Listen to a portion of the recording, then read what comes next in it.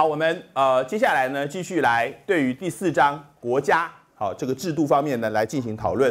那么当然我们呃都了解在第四章的国家里面，那么除了课本的内容介绍的所谓的国体的概念之外，另外就是另外一个很重要的制度的设计，就是关于选举制度啊。我们从上上周开始呢来特别探讨选举制度。那么呃在上上周呢，我们首先对选举制度呢分为三大类，就是黑板上所写的多数决制、比例代表制以及混合制。那么在前两个星期呢，我们已经针对了多数决制跟比例代表制大致上做了一些介绍。那么今天我们继续来探讨的是关于混合制的选举制度，以及各种选举制度的政治影响，以及目前台湾的选举制度的好一些政治上的效果等等。好，我们还是回归我们台湾本身的一些实际的一些运作状况，也要跟同学们做一些介绍。好，这是今天上课最后一次上课呢主要的一些内容。好，我想呢，我们呃在前两周我们已经介绍过完多数决制跟比例代表制。那么我们呃记得在上上上次上课呢，我们也说过，那么从二次大战结束完之后，那么选举制度的演变，它的历史过程从多数决制先开始，到了十九世纪末呢，比例代表制好针对多数决制的缺点应运而生。那么到了一九二零年代的时候呢，多数决制跟比例代表制已经可以啊这个分庭抗礼啊，成为全世界最重要的两种选举制度的一种选择。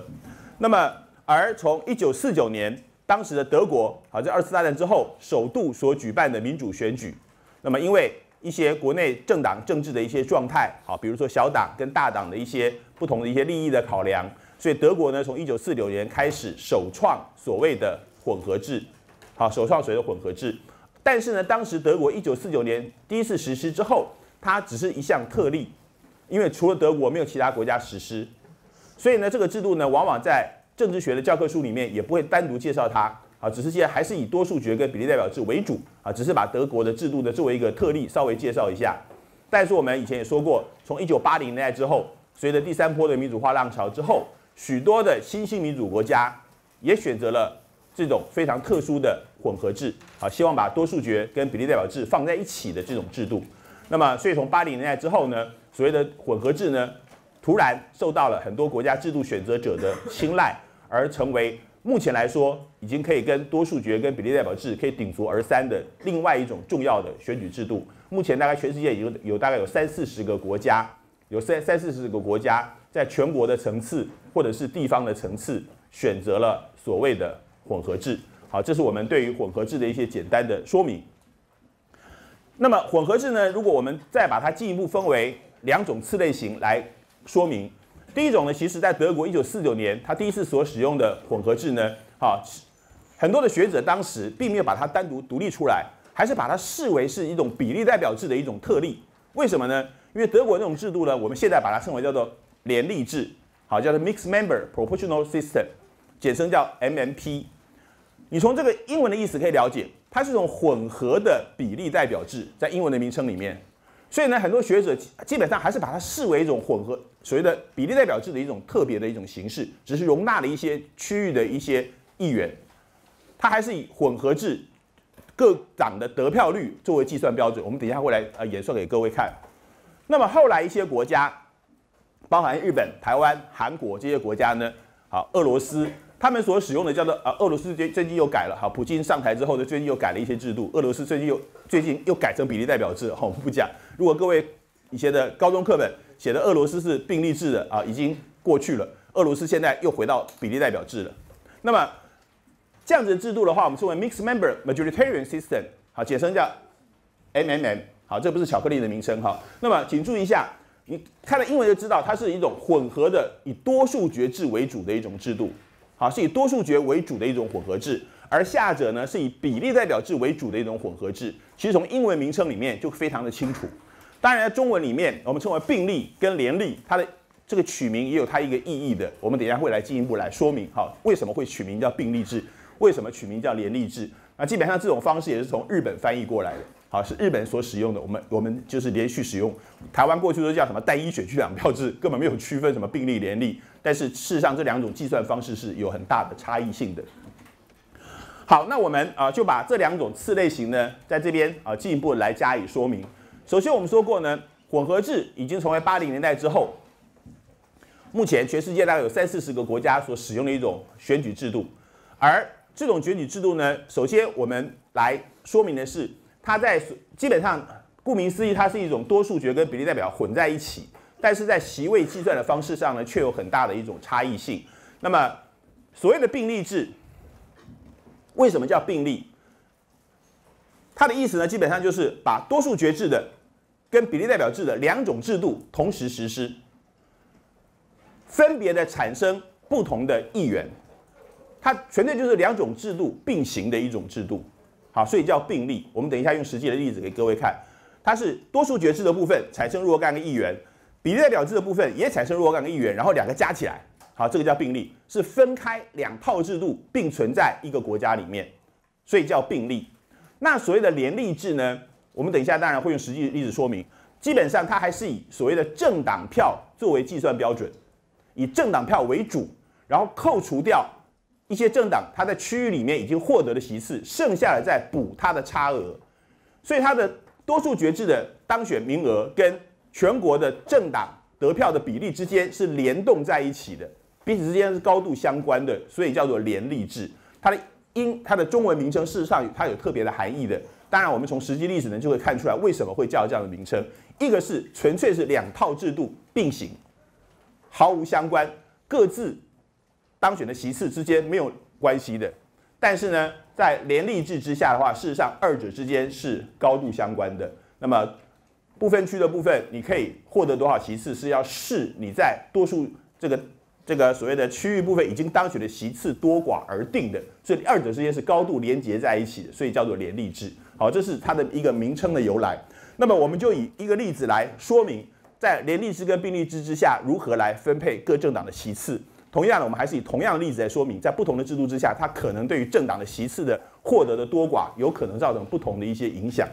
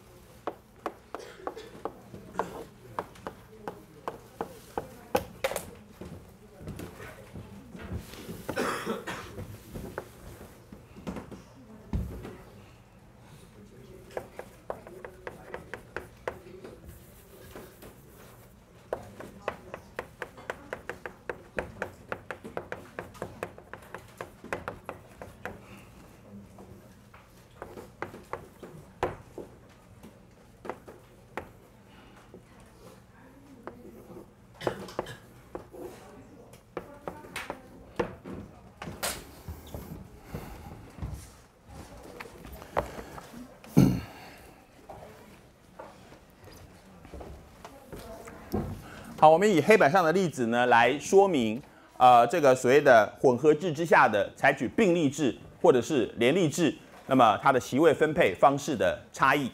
那么这个例子是这样子，好，假设某一个国家的国会总共有两百席，那么一半一半，好，一百席采单一选区相对多数决制选出，另外一百席呢是采比例代表制。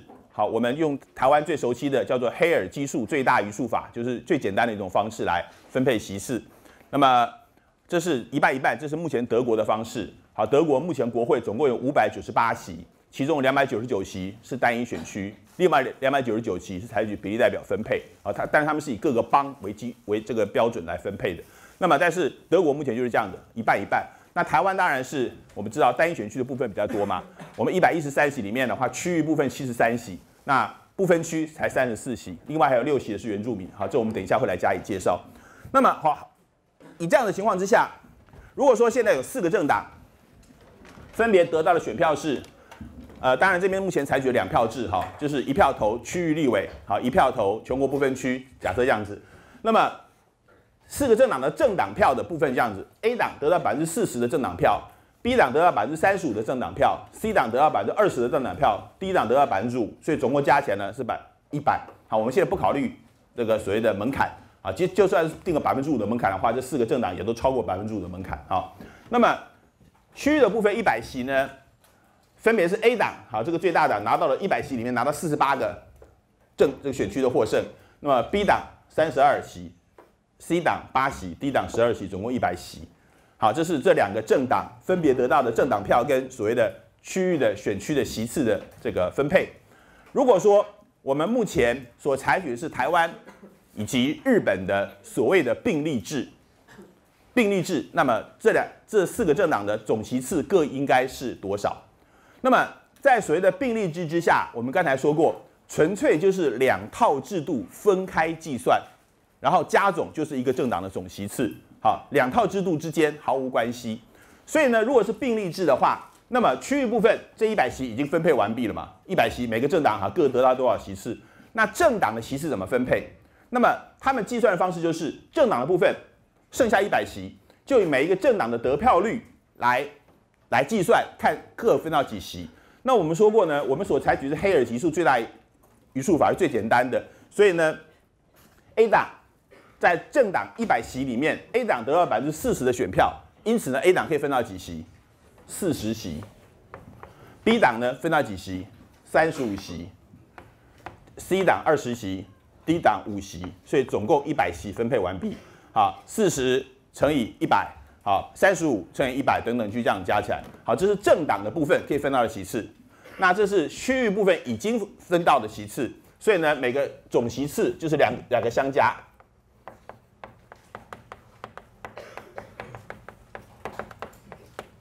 所以 A 党呢就是四十加四十八，所以 A 党呢总共可以分到八十八席。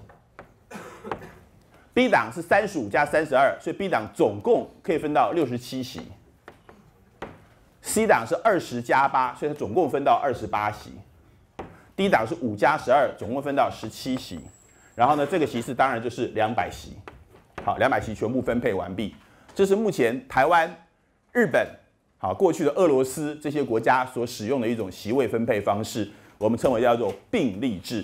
我再强调，所谓并立制就是两套制度呢分开计算席次，然后加总起来就是这个政党的总席次，这二者之间是毫无关系的。好，我一直在强调这一点，所以叫做并立制。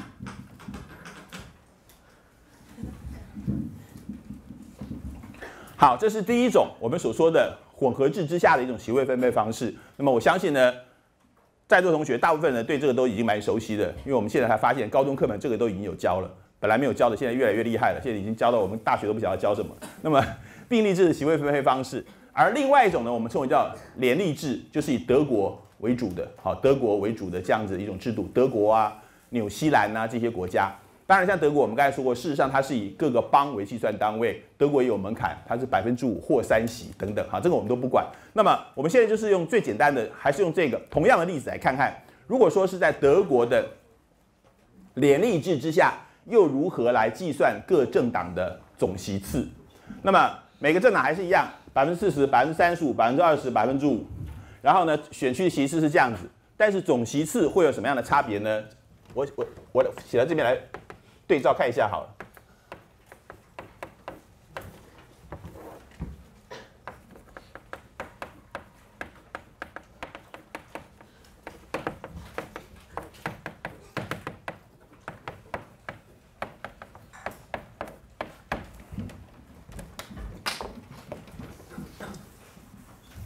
首先，我们刚才一再强调，所以连立制呢，它就是以政党票作为计算的标准。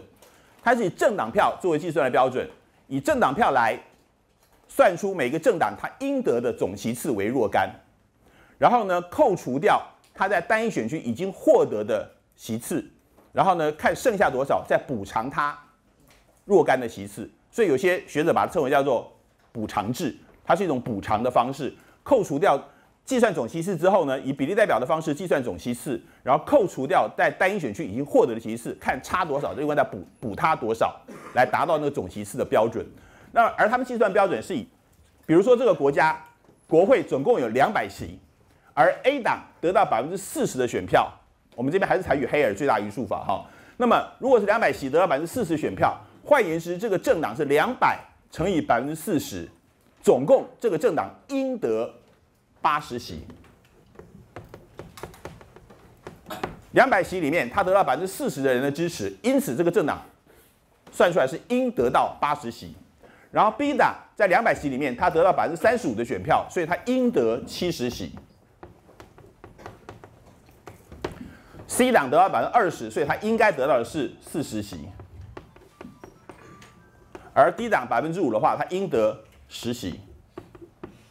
好，这是联立制，是以每个政党的得票乘以总席次乘以总实际的两百。所以我们刚才说过，刚才并立制的话是以各个政党得票乘以比例代表部分的一百席，但是呢，在联立制之下是以每个政党得票乘以总席次的两百席，一个乘以两百，一个乘以一百，这个地方是最大的一个差异性。好，这是最大的差异性。所以呢，A 党它按照它得票比例，它应该分到八十席，但是呢。他已经在选区里面得到了四十八席，他已经得了四十八席，所以呢，再补偿他多少席？再补偿他就是八十减四十八，所以另外呢，再补偿他他的所谓的比例代表的席次呢，他应该再补偿他三十二席，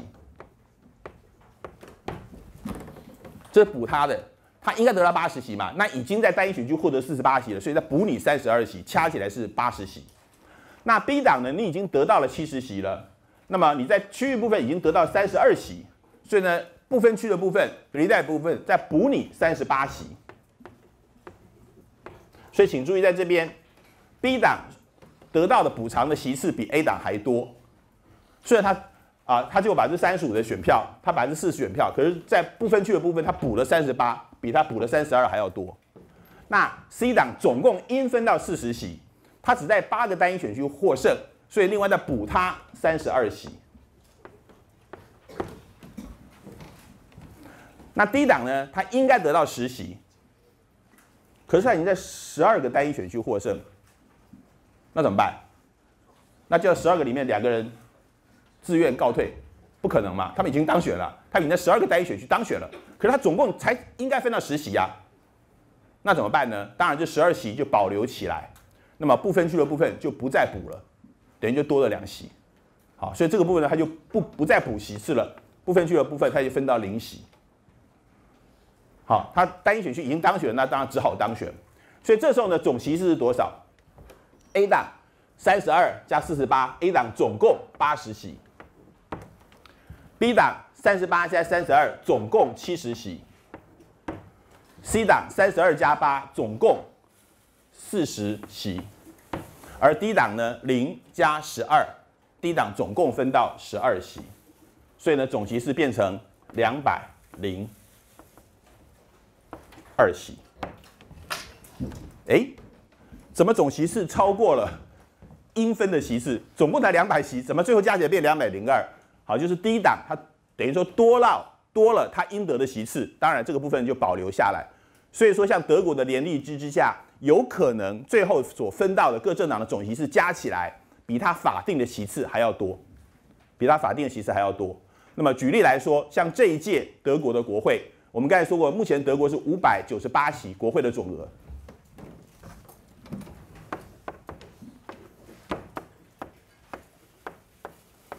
好，这是目前德国五百九十八席，其中两百九十九席单一选区，两百九十九席比例代表。但是目前，如果各位去查一下德国目前的国会的话，我记得是目前德国实际上国会的议员数目是六百一十多席，六百一十多席多了十几席，哪来的？就是我们说过有一些小党，他在区域部分已经当选的席次超过了他应该分到的总席次，那只好保留下来。那当然，德国有一些区域性的政党，像什么什么像什么什么巴伐利亚农人党啊之类的，就就在德国南部，他们只是具有区域性的很庞大的影响力。可是他在北德地区什么都都不会得到什么席次，可可是他在他的区域里面可能获得席次很多，超过了他的区那个部分的区域呢当选很多席次，超过了他的全国的不分区里面应该分到的席次，蛮多的，所以就会造成目前德国的话是六百一十多席的席次这种状态。所以在联立制之下呢是有这种可能性的。当然也因为在台湾，我们等下会说明，台湾目前的话，我们的总席次一百一十三席明定在宪法里面，其实很很少有国家把国会的总席次定在宪法里定的死死的。所以当时很多学者讨论说，哎，我们台湾是不是采取连立制啊、并立制？后来一看都很难，为什么？因为定在宪法里面，所以很多学者就说，你看看你再采取连立制的话，可能总席次会超过一百一十三啊，违宪，宪法里面规定就一百一十三等等这种方式，那所以现在比较难动。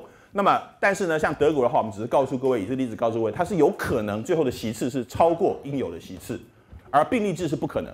并立制你怎么算都一定是符合那个总席次，不可能超过。但在联立制之下是有可能会超过。好，这是第一点，各位必须了解这两者之间的差异性。第二者，你有你也可以比较一下，在并立制跟联立制之下，其实对于各个政党而言，它的获得席次多寡也是有差异的。比如说最大党的 A 党，它在并立制之下可以囊瓜八十八席，可是，在连立制之下却只有八十席，少了八席。那其他的政党好像在连立制之下都比并立制之下多一些。当然，从这边你隐约可以感觉到，事实上也是如此。就是说，并立制，因为它纯粹是两套制度分别计算席次。基本上呢，对于大党是相对是比较有利的，对大党相对比较有利的，因为大党呢，它在单一选区部分本来就比较占优势嘛。好，本来在单一选区里面，它就会获得比较多的席次，而部分区的政党比例代表部分，它也可能可以靠他这大党所得到的相当比例的这个得票率，又分到若干席次。所以基本上一般说起来，并立制的话，对大党相对是比较有利的。那联立制的话，它可能在单一选区没有办法获得席次，它只有靠比例代表的部分来获得若干席次啊，所以联立制相对对小党是比较有利的。当然，这只是一种说法，为什么呢？因为还要试两者之间的，就是说分配比例而定。好，如果说像台湾、日本这种以所谓的区域部分为主的单一选区制为主的并立制，那当然对大党更有利。因为它的部分区部分还不是像德国一半一半，对不对？部分区像台湾，然后就占占百分之三十而已。好，区域部分占了百分之七十。那像这样子的话情况，当然对于所谓的大党是更加有利，因为区域部分主要都是大党的天下嘛。可是也不一定，我们说过要视比例而定。好，某一些国家，我记得像是尼日吧，但尼日是个比较特别，呃，除了尼日还有好几个国家了，他们采取的。联并立制或联立制或者怎么样？比如说他们的并立制，它的区域部分占的比例很少，它是比例代表部分占了很多。那这样子的所谓并立制的话，就未必是对大党有利啊。所以还要看两者之间的比例。各位了解意思吗？如果说一个采取并立制，它的不不分区的部分占了百分之八十啊，区域部分只占了百分之二十，那当然相对的大党就讨不到什么便宜。那还是一个所谓的以比例代表制为主的一种并立制。所以一般有一些教科书写啊，并立制绝对大党对大党有利，其实这句话是要打问号的。啊，这就要打问号。那基本上像台湾、日本这种以区域占的比例很高的这种并立制，才会对大党有利。好，因为区域部分的单一选区制，那基本上是啊完全是大党的天下。那以我们这个例子而言的话，正好一半一半的话，但是可以看得出来，这种情况对大党相对的也是比较有利的。好，这这之间的联动是啊，在这边可以看得非常清楚。好，这是关于所谓的联立制跟并立制的介绍，同学。了解吗？有没有问题？那我们刚才说过了，目前大概呃全世界的国家里面，像我们刚才说的台湾、韩国、日本这些国家的话，啊，东亚这几个国家大概都是病例制，我们大概都是从德从日本那边得到一些启示的。那像德国、纽西兰的话是采取联立制，那么这是我们所了解的状况。目前大概全世界我们说过有三四十个国家采取好这样子的一种制度。那再进一步说明的话，其实呢，在联立制跟病例制之下，还是有很多国家有不同的一些设计。举例来说，好，我们刚才所说的德国纽西兰或者是日本，他们都有所谓的 dual candidacy，所谓的双重候选制。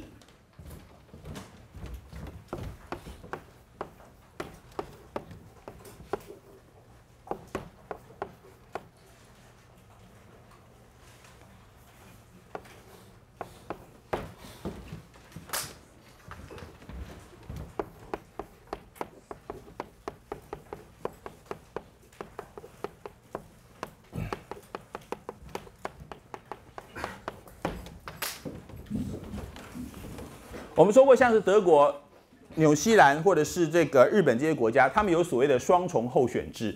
什么叫双重候选制呢？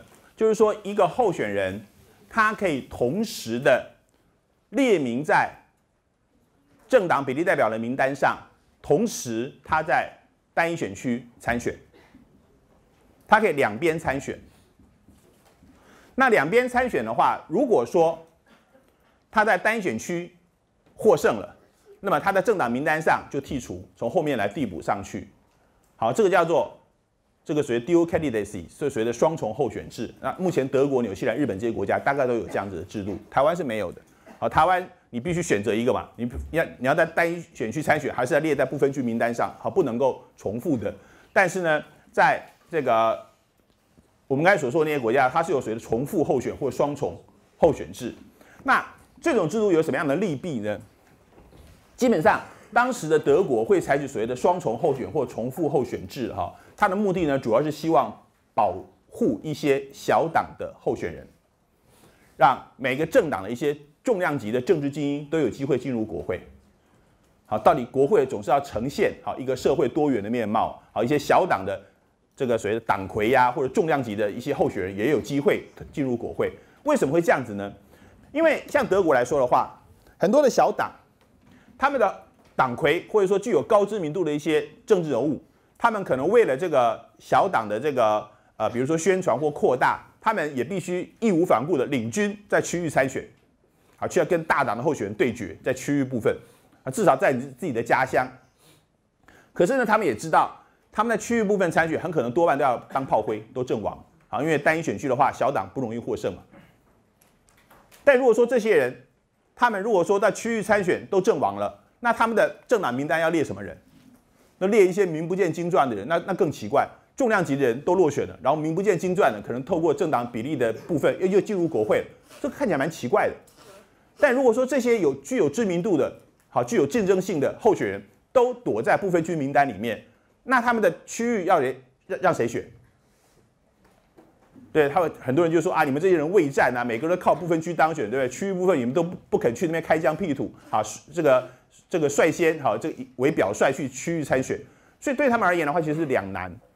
那么，所以说后来德国发展出谁双重候选，让这些小党的重量级、具有知名度的候选，他们一方面呢可以替小党开疆辟土，去单一选区参选，哎，说不定还有一些人会当选，啊，自己在自己的家乡，好，等等等等。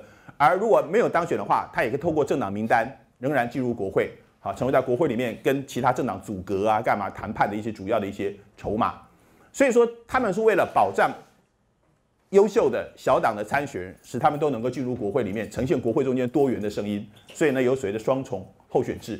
举例来说，那时候一九八零年代的时候，德国自由党一个党魁叫根社，好，当时非常有名的一个一个党魁。那么，自由党是德国的小党，大概第三、第四大党。那么根社呢，他身为党主席。所以他当然必须要代表这个政党啊，至少自己的家乡参选。可是登根社呢，当时又是在联合内阁里面啊，因为我们知道德国从二次大战结束完到现在，没有一次是有政党过半数的，每次都是联合内阁。那根社呢，因为自由党嘛，它是属于中间性的政党，所以他每次呢联合内阁他都能够入阁，无论是基民党组阁或者是社民党组阁，他都有机会进入内阁，然后长期担任德国的外长。好，当时的一个冷战时期，当时德国的外长的角色非常重要。好，在整个北大西洋公约组织里面啊，好合纵连横啊等等。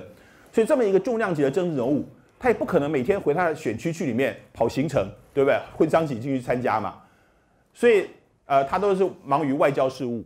而每次选的时候呢，他在他自己的选区都落选。然后呢，但是透过不分区名单，他排名第一名，又进入国会，好，可以继续跟基民党或者是社民党来组成联合内阁。所以像这样子的政治人物的话，就是在双重候选制之下的话，还是有还是有机会，好，尤其在内阁制之下，继续活跃于所谓的国会的殿堂，好，跟政府组成的过程里面。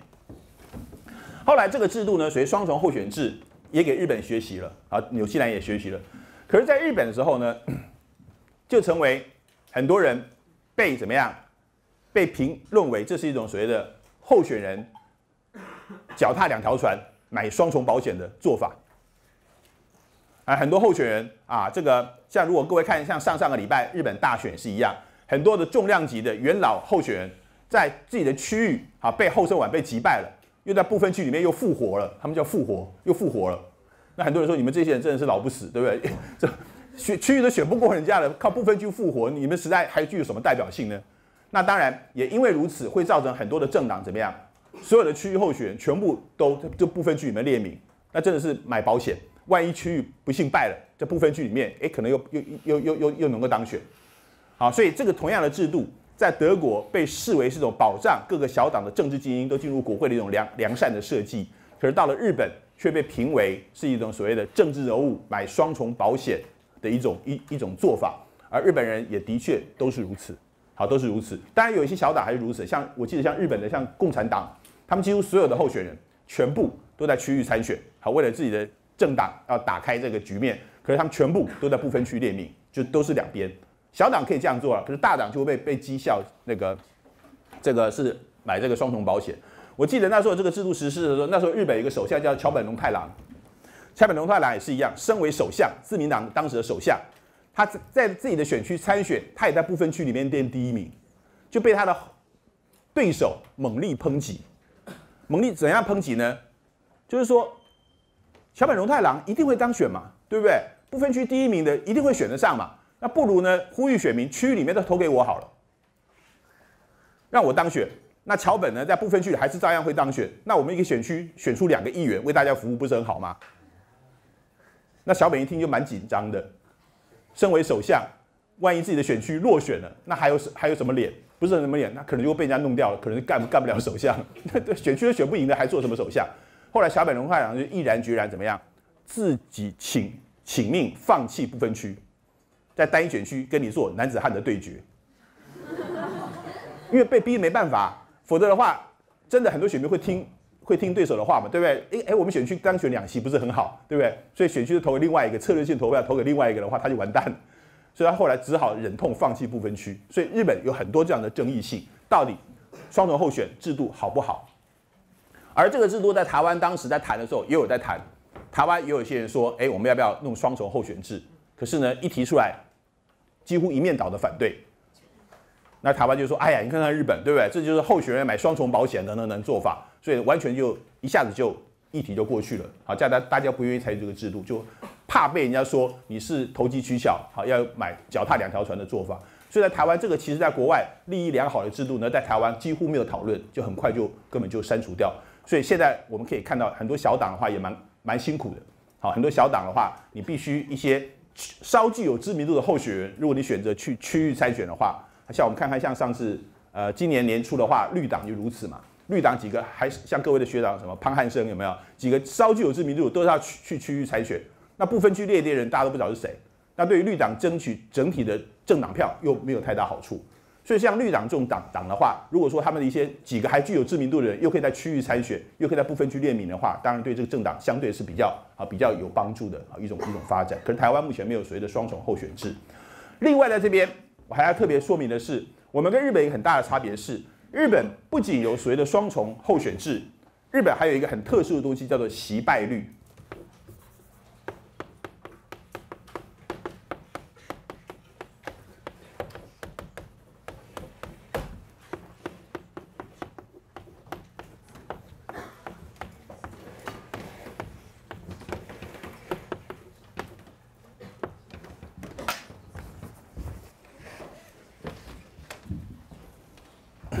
日本的制度呢，目前除了有所谓的双重候选制之外，他们还有一种叫做惜败率的规定。好，这是日本独创的，叫做 First Loser Margin。什么叫惜败率？简单的说，所谓惜败率呢，就是指着日本每个政党，因为他们采取的是封闭式的政党名单，也就是那个名单的顺序是由政党内部来决定，跟台湾一样。好，谁排第一，谁排第二。可是跟台湾一样，谁要排第一，谁要排第二，其实党内摆不平。那摆不平怎么办？后来他们很很天才，发明一个叫惜败率，就是说我们政党的内部名单的顺序交给选民来决定。我们刚才说过，他们是双重候选，对不对？如果说你在区域部分落选了，那谁应该在不分区能够复活？是比呢？看谁败的比较可惜，败的比较可惜的优先复活。这什么意思？好，我们用个例子来说明好了。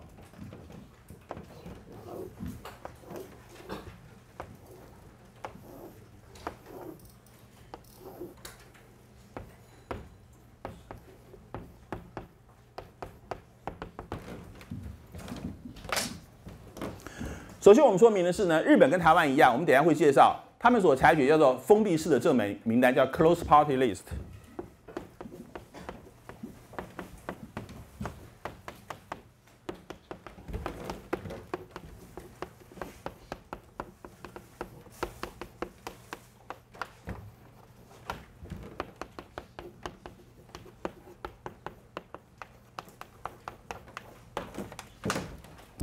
好，所谓的 close party list 叫封闭式的政党名单，它的意思就是指着政党名单的顺序，谁排第一，谁排第二，谁排第三，完全是由政党内部决定的。然后呢，到时候视他们应当选名额的多寡啊，像我们上次说过嘛，哎，这次一月十四号，民进党不分区总共分到十三席，对不对？他的不分区名单里面，第一名到第十三名就当选，那第十四名就落选，前十三名当选，选民没有办法决定他的顺序。完全是由政党内部决定的，那每个政党内部有不同的决定方式，这叫封闭式政党名单。也就是说，选民对于每个政党的名单的优先顺序是无从智慧的。可是事实上，大部分的欧洲国家是采取 open party list，是采取开放式的政党名单。也就是说，选民除了圈选政党之外，还可以圈选政党名单内的候选人。每个候选人以他各自得到选票的多寡来决定当选的顺序。哎，比如说某个政党，它可以分到十五席，那哪十五个当选呢？就是看这候选人里面他们各自的得到选民的票数的多寡来决定当选顺序的。这个很多很多不同的方式。好，这个很复杂，我们就稍微带过去就好了。那我们上次也说过嘛，有些国家还允许选民可以挑选同一个政党里面，你挑选 A 党，你在 A 党里面可以挑选一个候选人。有时候选选民有些国家还允许你挑选 A 党。你在 A 党里面可以挑选两三个候选人，甚至还有国家允许，像我上次说的，像瑞士，你挑选某个政党之外，你还可以在不同的政党名单里面挑选若干个候选人。啊，你很喜欢马英九，你也很喜欢陈水扁啊，你也喜欢谁谁，你可以跨党的挑选不同候选人，甚至像瑞士跟卢森堡，还可以允许你同一个候选人可以投他两票，对不对？你太喜欢他了，决定投给他两票，让他更多的机会当选。这个在很多国家有非常不同的设计啊，不是说像我们台湾一样啊，全部都是封闭式，不是这样的。采取封闭式国家国家其实不多，只有我记得像是荷兰、德国、西班牙、以色列，少数几个是封闭式政政党名单。其实大部分国家还还是可以，即使欧洲国家，你说以投给政党，我只能说以政党为主，基本上还是可以允许选民可以有机会圈选候选人。那我们现在我们跟台湾跟日本都是封闭式。那日本呢？我们说过，它的双重候选加上惜败率，它怎么样设计？比如说，它某个政党名单是这样排的：A 排名单第一顺位，然后 B、C、D 三个人共列第二顺位。哇，这多好！好，解决政党内部的排名的这个冲突嘛。然后一好列第三顺位。假设了，好，假设呢，这个政党按照政党名单。当选了，总共呢当选三席。当选三席的话，那怎么办？那 A 当然就当选了，对不对？那 B 啊，假设了 B 也当选了，呃，这样说好，就是你你必须列在同一顺位。的候选人哈，你必须要在区域参选，你你必须要在区域参选。我们这样说好了，他应该当选两席好了。那 A 的话，哦，没有条件的，假如 A 呢，他没有在区域参选，他单独列第一顺位，那么他他就当选了。那第二席 B、C、D 三个人列在同一顺位，然后他们也在区域部分也有参选，那到底第二席要给谁？啊，假设呢 B、C、D 三个人，B 这个人他在区域也已经获胜，那就没有话说了吧？区域部分当选了，对不对？就等于说去掉了。那 C 跟 D 两个人，他们的区域也都落选，那到底第二席要给谁？这时候就要看 C 跟 D 两个人谁在区域里面落选的比较可惜。这什么意思？比如说 C 在他的选区里面，C 在他的选区里面参选，他总共获得一万票。D 在他选区里面获得了八千票，可是，可是，如果说 C 的选区里面当选者当选的那个人是获得了两万票当选的，而 D 的选区里面当选的那个人是获得一万票当选的，所以说 C 落选了，但是他的得票只是当选人的百分之五十，对不对？D 也落选了。可是他的得票是他的当选人的百分之八十，所以绝对票数一万虽然比八千多，可是呢似乎 D 比 C 更可惜，所以说 D 当选，这叫惜败率，各位了解意思吗？所以比谁败的比较可惜，他们可以把啊都在区域参选的人列在同一个顺位，像我刚才说过，像日本共产党。好，他可能在某个区域里面，他十个人参选单一选区，十个人全部列在第一位，大家就要比嘛。在十个人里面，如果假设他们不分区会分到三席的话，就看哪三个人是在自己的选区里面是败的比较可惜的。好，距离那个谁当选者差多少票数的比例来决定谁当选。好，这个叫做席败率的规定，这是日本非常特殊的制度。而这种情况之下，更当然更容易让一些政治人物除了脚踏两条船之外，还有很多人会怎么样？已经被区域部被被选民淘汰了，可是在部分区里面又重新复活了。啊，如果各位看看两前两个礼拜报纸，很多的那些老政治人物都是在这种情况之下可以重新复活，再当选国会议员。当然，这个制度在日本呢，好正反两方的意见批评都蛮多的。这是目前这个制度跟台湾一个很大的一个差异性，啊叫做洗败率。啊，那日本是又有双重候选，又有洗败率，这是跟我们又有很多的不一样。好，我们先休息一下，下一课继续加以探讨。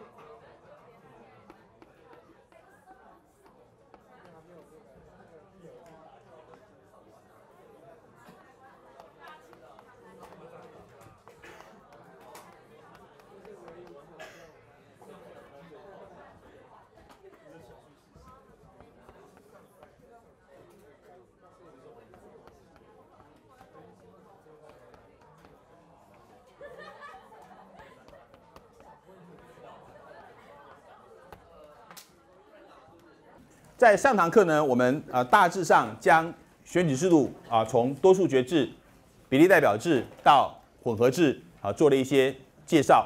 那混合制的部分，我们又分为所谓的联立跟并立的不同的席位计算方式。那其他国家的混合制呢，还有所谓的双重候选制，或者说日本非常特殊的席败率，在我们上节课呢也略微加以讨论。那么在下一节课，我们会进一步的来做一些对照，跟我们目前台湾的状况来做一些比较。好，那这节课呢，我们继续来介绍的是关于选举制度的影响。我们介绍了这么多制度啊，那说话，你采比例代表制，我采多数决制，又又有什么关系？那主要就是说，我们必须进一步了解的是，不同的制度它可能造成不同的影响。如果各位还记得，我们在上一次上课曾经说过，用一个简单的模型，有没有？相对多数决、绝对多数决。它所可能产生的当选人就不见得一样，对不对？一群同样的人面对同样的偏好，但是不同的制度放下去，可能会产生不同的当选人，所以当然会有影响。好，制度的选择当然可能会对于政治结果会有很大的影响。而就整体而言，其实选举制度的设计跟选择，在很多国家会造成许多复杂的影响。那在这门课里面，好，大一的政治学一个基本的课里面，我们大概只简单的介绍一些最重要的一些影响的成。层面，当然，其中最重要的也是贵最广为人所知道的，就是关于所谓的选举制度跟政党体系之间的一种因果关系。好，选举制度跟政党体系之间的因果关系。那么，当然这边所介绍的呢，就是好，在一九五零年代，法国的政治学者好杜维杰所提出来的叫做杜伟杰法则。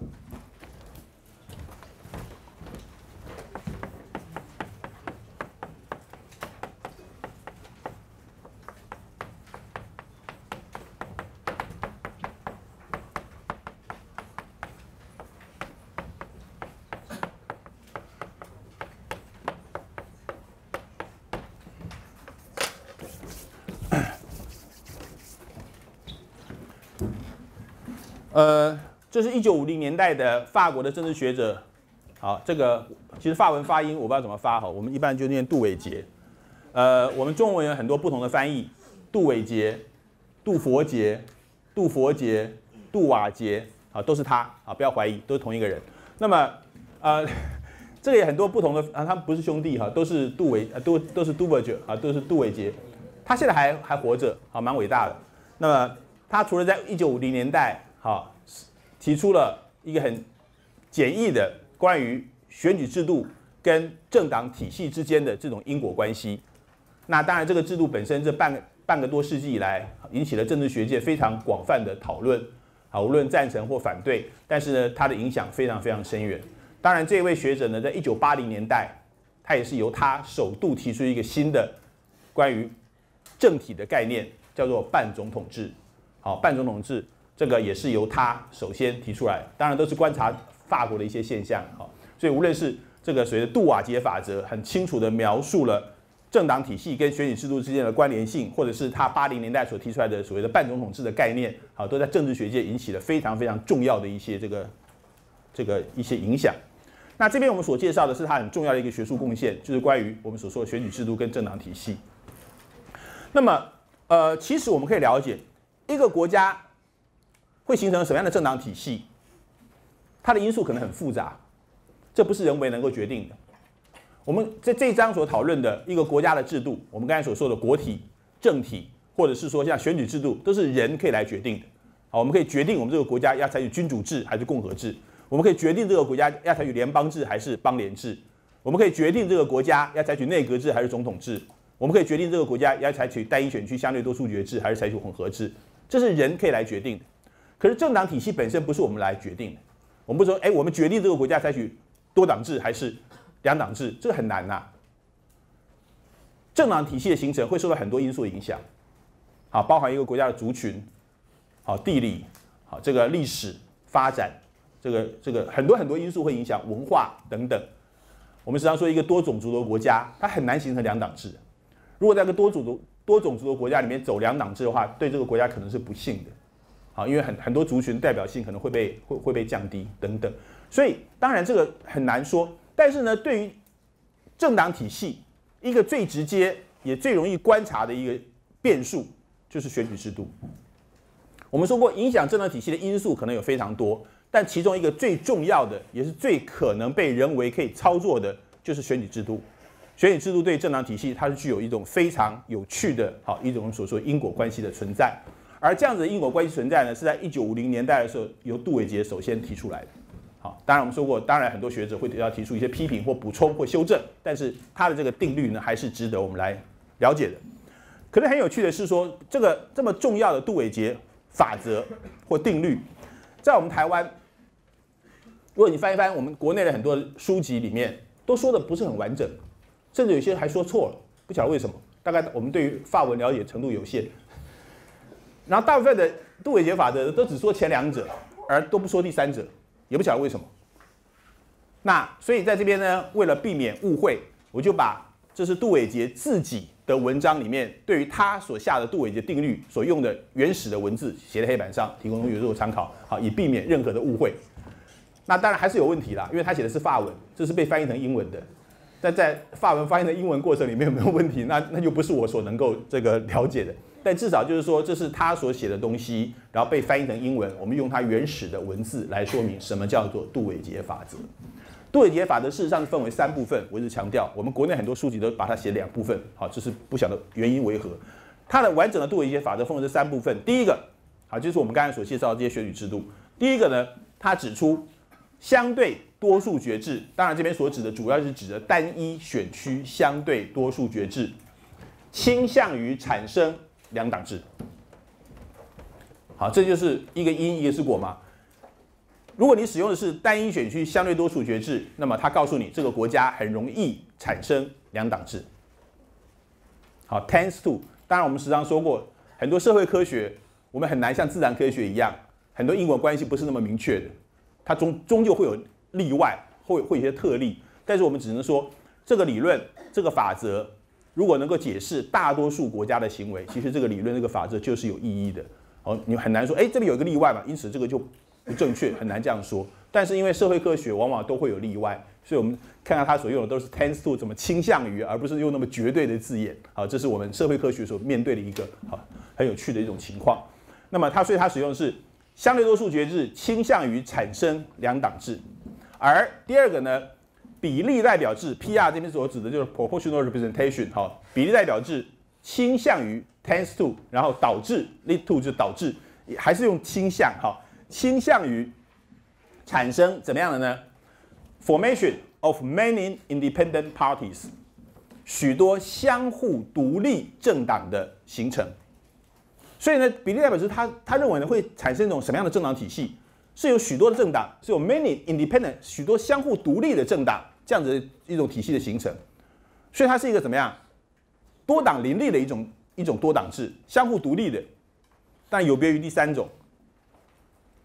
有些国家的多党制，彼此之间政党之间呢，不见得会有结盟的可能，它可能单独就可以存在。好，这我们等下会解释。可是有一些国家的政党，因为选举制度的使然，使他们必须之间要进行结盟，就是我们下下面所说的，像在法国的两轮绝对多数决。好，这边所说 two ballot majority，就是我们所指的 run off 或者说 two ballot system，两轮投票制或两轮绝对多数决制。那么法国这种两轮绝对多数决呢，也是一样，倾向于 produce，倾向于产生怎么样？一个 multi-partisan 多党制，可是这个多党制呢是 tempered，好，就是被什么样缓和？by alliance，被联盟所缓和的一种多党制。当然，我们用中文翻译的话，我们可以说，第一个相对多数决制倾向于产生两党制，比例代表制倾向于产生相互独立的多党制，而两轮绝对多数决制倾向于产生多党。联盟，它是多党制，可是这个多党之间会形成，最后形成两大联盟，会向倾向于产生一个 multi，也是 multi-partisan，也是多党，没错，像法国现在就是，但是呢，往往我们知道，目前的法国就是左右两大联盟嘛，对不对？右派的联盟跟左派联盟互相对垒，为什么？很简单嘛，如果各位知道，他们要投两轮票嘛，到了第二轮只剩下两个候选人呐，他必须要结盟嘛，好，两大结盟才能够互相竞争。所以呢，因为制度的使然，比例代表制呢，容易倾向产生相互独立的多党制，但是呢，两轮绝对多数决却是产生多党联盟的政治体制。好，这是不太一样的。那么我们刚才说过，比例代表制，我们第一个相对多数决是我们进一步在说明，比例代表制为什么形象一个相互独立的多党制？其实我们可以发现，很多欧洲国家都如此，因为一个政党，它只要获得若干比例的选票，它就可以在国会里面理论上啊拥有若干比例的席次，对不对？它不见得这个政党的存在，不见得一定是要怎么样，要进入政府，要掌握政权为目标。有些政党，像欧洲很多国家，他们都是那种使命型的政党。我们下一期会谈到，好，都是有这个单一议题的政党，像绿党啊什么这些政党，他们是追求同一个一个很重要的一个这个议题政见，它不见得是以这个所谓的进入政府，好，要组成政府分配这个阁阁员的席位为目标的。所以呢，这些政党它也未必一定要跟其他政党要结盟。我假如拥有若干的选票，跨过门槛进入国会，我就可以为我们的政见来发声。所以这种情况之下，许多政党它会相互独立，它不见得一定要结盟，并且往往结盟的话，反而在未来选举可能还会失去选民的支持，对不对？你为了那几个席次就去。就是就就背叛理想去跟他们结盟，好，为了要获得几个内阁席次，像过去日本的社会党就如此嘛。所以他们不见得一定要跟别人结盟，所以往往我们所说的比例代表制，它会形成所谓的相互独立的做这个多党制。那么党跟党之间结盟的诱因可能不是那么大，除了几个主要政党他们会要要形成联合内阁之外，其他政党之间不见得一定要以结盟为目标。可是呢，我们知道两轮绝对多数决的话。第一轮如果有人过半数当选，如果第一轮没有人过半数的话，必须进行第二轮，而第二轮只有两大候选人的对垒，哪一方结盟成功，能够获得其他政党的支持，哪一方就有比较机会获胜。如果哪一方结盟的不理想，那么他就容易落败，因为第二轮的话是一对一嘛，你必须要获得过半数，所以说变成两大阵营的对垒。那法国我们知道过去的半个世纪来所发展的就是左右两大联盟。虽然法国在第一轮我们说过总统每次都有十几个候选人，可是到第二轮被迫只剩了两个的时候，就要形成左派啊，多多半是以社会党为主，右派啊往往都像什么共和联盟、民主联盟等等，就是形成两大阵营的对垒。那哪一方的结盟能够顺利，哪一方就会获胜。所以法国一定就会形成一种所谓的两大，最后就是在国会里面实际的运作，就像是相对多数决一样，好，就是所谓的左右两大联盟。所以法国看起来是一种所谓多党制。可是它却是一种多党联盟的政治形态，它跟所谓的相互独立的多党制还是不太一样的。好，这是我们所首先所介绍的所谓的杜维杰法则。那么它是呃很简单的将选举制度跟政党体系之间的因果关系把它描绘出来。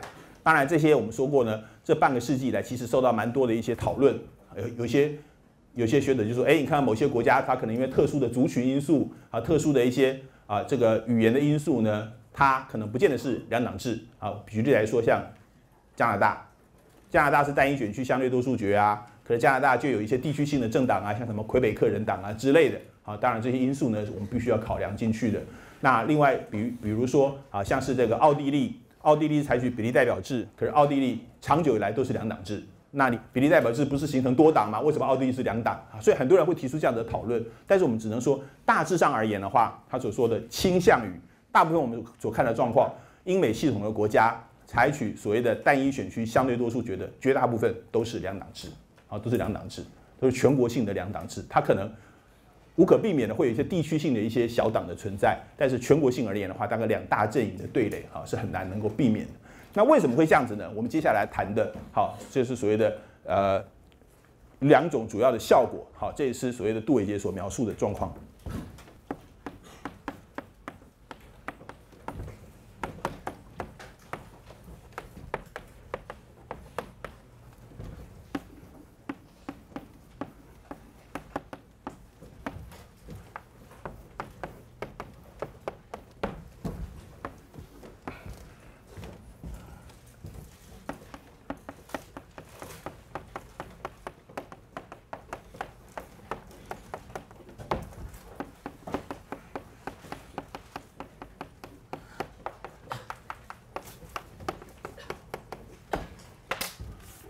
也指出来呢，为什么单一选区相对多数决制容易倾向产生两党制？那么两个主要的效应，好，在这边我们要稍微做个介绍。第一个呢，叫做 psychological effect，叫做心理效应；第二个叫做 mechanical，叫做机械效应。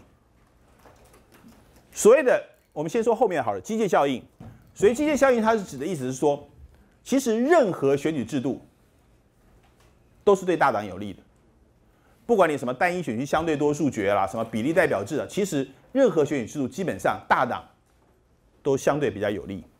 我们这边所谓有利的意思，就是指着一个大党，他在国会里面所能够分到的席次，往往会高于他的得票率。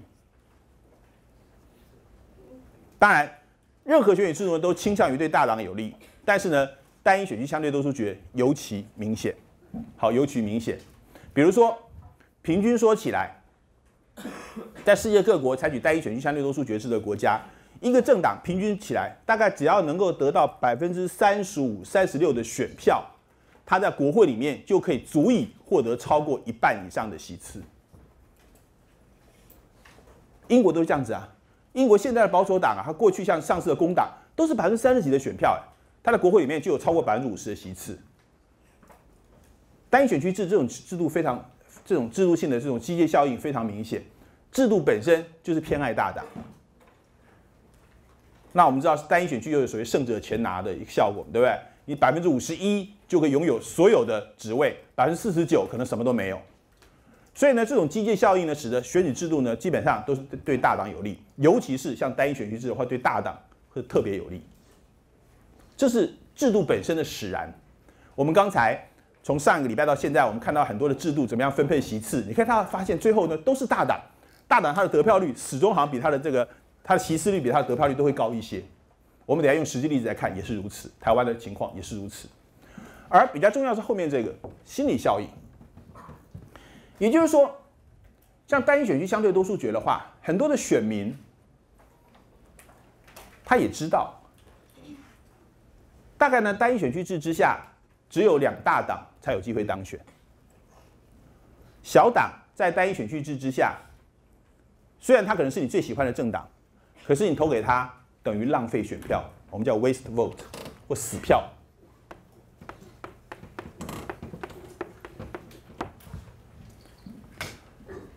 你浪费选票嘛？因为他不可能当选嘛。你虽然很喜欢他，可是他不喜欢当选，啊，他不可能当选。所以说，很多选民他会把选票投给两个比较可能有当选的候选人，或者是说，如果有一个执政党他时常当选的话，选民或者候选人也会联合起来，好，因为他们知道个别的都很难获胜。他们必须要联合起来，才能够跟那个人对抗。然后呢，选民也知道，他们选票要集中在某一个候选人身上，他才有机会击败那个他们最讨厌的候选人。所以这种情况之下，就是无论是政党候选人会有这种策略性的行动，选民也会这样子想。各位看看韩国，韩国总统大选上个月刚刚举办，对不对？单一选区制，两个在野党的候选人到最后怎么样？最后一刻谈成了合作，当然最后没有获胜了。可是会有这种压力。会有这种压力让他们合在一起，才能够击败执政党的候选。所以，无论是比较小的在野党，他们会联合起来，共同对付那个最主要的执政党；或者是选民也知道，他投给小党等于浪费选票，他们会把选票集中在主要的候选人身上。好，我们以前曾经举过例子嘛。今年一月十四号，总统候选人有三个，那宋楚瑜才得到多少？百分之二点几。虽然亲民党的立委得到百分之五点几，可是他就有百分之二点几。就即使投给亲民党的这个立委的亲民党的选民，他们总统选票也没有投给这个宋楚瑜，因为他们知道宋楚瑜不会当选。所以这种情况之下，我们称为叫心理效应。无论是政党之间的合纵连横，或者是选民本身也会进行这种策略性的思考，而使得在单一选区相对多数决之下。选票容易倾向集中在两个主要候选人的身上。如果一个选区如此，两个选区如此，全国的选区都如此，选票都是集中在两个主要候选人身上，而这两个主要候选人全国都是同样的两个政党，那就叫做两党制。那就叫两党制。但是我们也知道，事实上可能某一个选区的两个主要候选人不见得是一样的。你可能有地区性的啊，比如说我们在过去在台湾选县市长，每次嘉义市到最后也是两个主要候选人，可是两个主要候选人一个是国民党，一个是叫做许家班，好，民进党都不提名人，因为民进党知道提出来也没用，所以就许家班就是以前那个张文英啊，张文英、张博雅，好，从这个许世贤他妈妈开始，嘉义市几十年来都是许家班的执政，所以嘉义市的话，他的两个主要候选就是许家班 versus 国民党。但是如果像现在的话，全台湾大概每一个县市几乎就是国民党跟民进党，每个县市如此，那全国性加起来就是两大党，对不对？但是在地区性有可能很多地，像我们说，哎，德国可能南部地区它的最大党可能是什么巴伐利亚农民党，对不对？在加拿大的魁北克地区最大党可能是魁北克人党，好，它就不是全国性两党制。但是我们说，如果说像台湾现在逐渐逐渐的，像选总统、选立法委员、选县市长。每一个选区都是同样的两个主要政党的对决，那就是一个全国性的两党制。那么这样子的一种心理效应，选民会逐渐把选票集中。我们在学呃政治学上称为叫 strategic voting。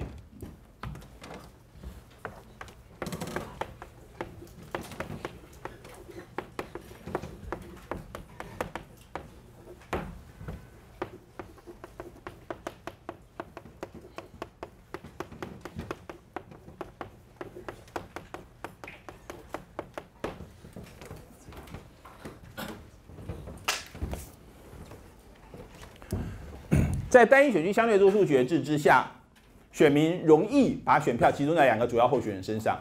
就算是你喜欢的是一个小党候选人，但是你知道他不太容易当选，你也会策略性的把选票集中在两个主要候选人的身上。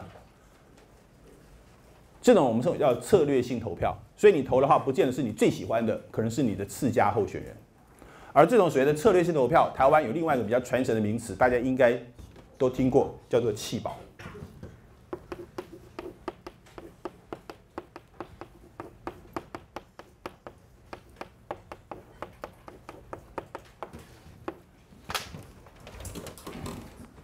叫做弃保弃保效应。好，各位，这个第一次喊出弃保的是一九九四年的台北市市长选举。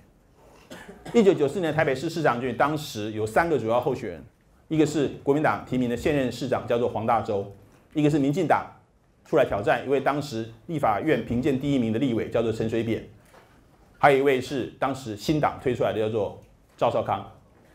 三足鼎立。那所以呢，当时是台湾第一次。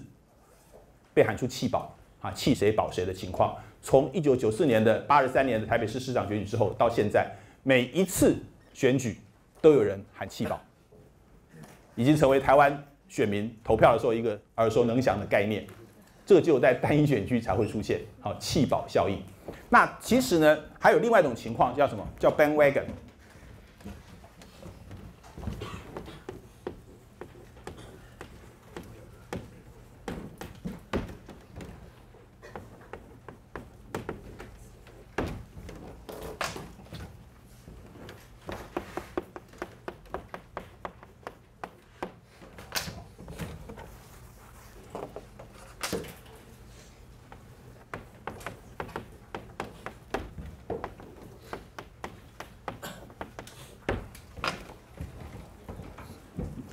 其实哈，在我们很多选举里面，也会有所谓的 bandwagon。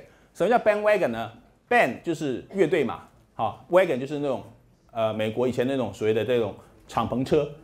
那 bandwagon 我们国内翻译成叫所谓的乐队花车效应，或者直接就是翻译成花车效应。这个故事是什么？其实这故事有很多的不同的说法。好，有一些说，哎，所以 bandwagon 其实它意思就是指的对于有一些还没有决定的选民。好，一些 undecided voter，一些未决定选民，他们往往会看一些民调，诶，谁的支持度比较高，他们会倾向于把选票投给那个声势比较好的候选人。当然，往往在选举的时候，最后就是两个主要候选人嘛。那些一开始看民调，哎，你最喜欢某某人，一看哇，排名第四、第五，不可能当选嘛，所以你的选票自然会转移在那声势比较领先的一两位候选人身上。我们这个这个这个叫做 bandwagon，或者说有一些未决定者不晓得投给谁，那那那就会把选票投给那个最领先的候选人，至少民调看起来好，他比较有机会获胜。这样代表你的这一票你是站在胜利的一方，对不对？不会投给那些输的输方。那么这种所谓的 bandwagon 的话，往往在选举里面也常常会出现。那么当然这个过程里面，民调就具有非常重大的影响。好，如果一开始民调做出来，某些候选人声势不佳，往往就完蛋。或者说像美国的话，初选好第一周五五十个州办初选，第一周、第二周主办初选的声势不好的就完蛋，就被淘汰了。好，这个叫 bandwagon。那么 呃，所谓的这个呃乐队花车效应。我们说过，随乐队花车往往就是说有很多很多人他喜欢啊站在胜利的一方。那当然这个故事有说像美国早期这种呃这个啊马戏团好要进城要要这个表演，他们都会事前在这个小城里面绕绕绕城一周，对不对？什么狮子大象啊在城里面绕，对不对？然后小丑啊表演，然后很多后面跟着一群小朋友就跟着花车，哇好好玩。然后就第二天就喊着找爸爸妈妈去看看马戏团，好这个叫 bandwagon，后面跟着一群人，叫 bandwagon 效应。那这个所谓的花车效应，就是说选民容易把选票，尤其是未决定的选民，容易把选票好支持那个声势比较好的那个候选人。那这个在台湾我们称为叫西瓜效应。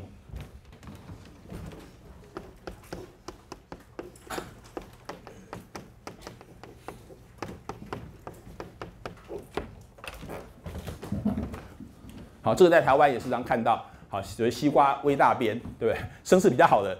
水水涨船高，声势越来越好。一开始，好民调单一选区的话，民调排第三的就完蛋了，就就被被选民淘汰了。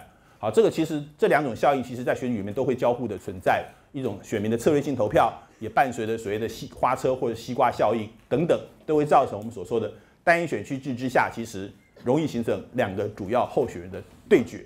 好，这个我们等到下一节课，我们会用实际的台湾过去的选举的例子来给各位做一些说明。那。除了这个之外呢，其实选举制度本身对于所谓的这个政治的影响，还有一个非常重要的一个概念，我们这边也稍微说一下，就是说 我们知道呢，单一选区制，像台湾，好所所有的行政首长选举，美国、英国这些国家实施单一选区制，它容易形成两党制，而对于候选人的竞选而言，也可能造成很重要的影响，而这样的影响呢？我们透过另外一个理论来跟各位做一个说明。那么这个理论我们称为叫做中间选民理论。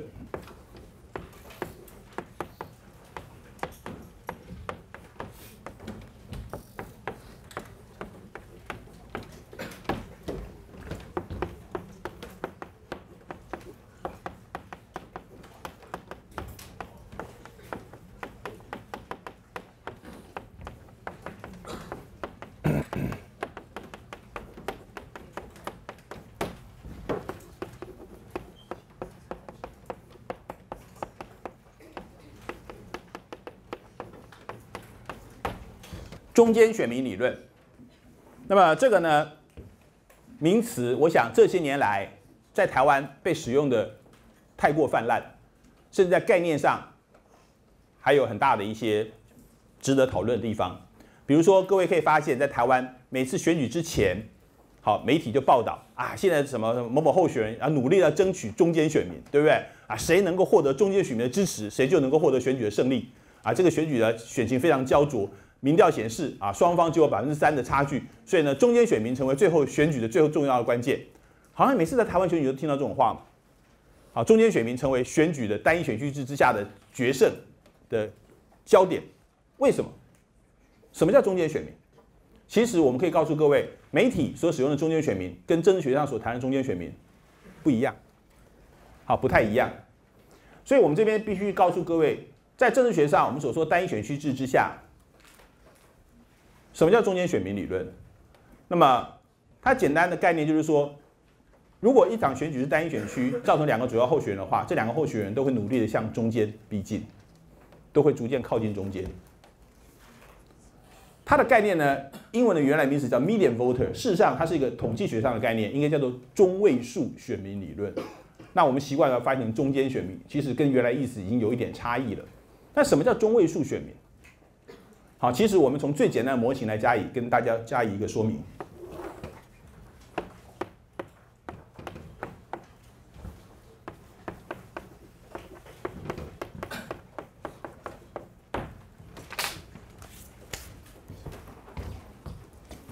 我们用个最简单的例子来说明所谓的中位数选民理论好。假设现在有某个委员会在选举，有七个候选人 A、B、C、D、E、F、G，七个人里面，你觉得谁会当选？哎，这什么问题？假设啊，这是极左，这是极右，啊，这是意识形态的光谱。你可以发现，我们这样想好了，哎，这我有说过吗？假设 B versus D。你觉得谁会赢？为什么？当然，我们这边有些前提啦。我们所说的理性的基本定义，好，你会选择跟你意识形态比较接近的选民的候选人来投票。好，如果说 B 出来的话，谁会支持 B？A 可能会投给他吧？C 应该也投给他嘛？对不对？B 当然投给他自己嘛。所以 A、B、C 应该是 B 的潜在支持者。那 D 呢？D 会投给他自己，那 E 投给谁？应该投给 D 嘛？F 应该投给 D，G 也投给 D 嘛？所以如果 B versus D 的话，D 应该会获胜嘛？我们如果以所谓的偏好跟距离，好是成反比的概念，好，距离越近，偏好越强。其实这是很重要的一个假设，人在投票的时候会选择偏好近的候选人来投，距离越在这个光谱上就是距离越近的代表偏好越强，这是成反比的概念。那如果 D 跟 E 呢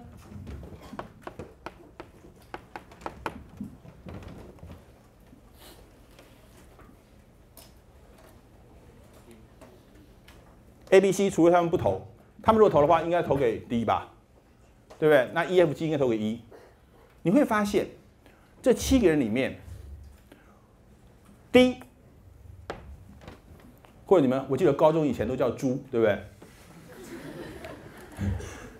他无论面对任何一个其他的候选人，他都会获胜。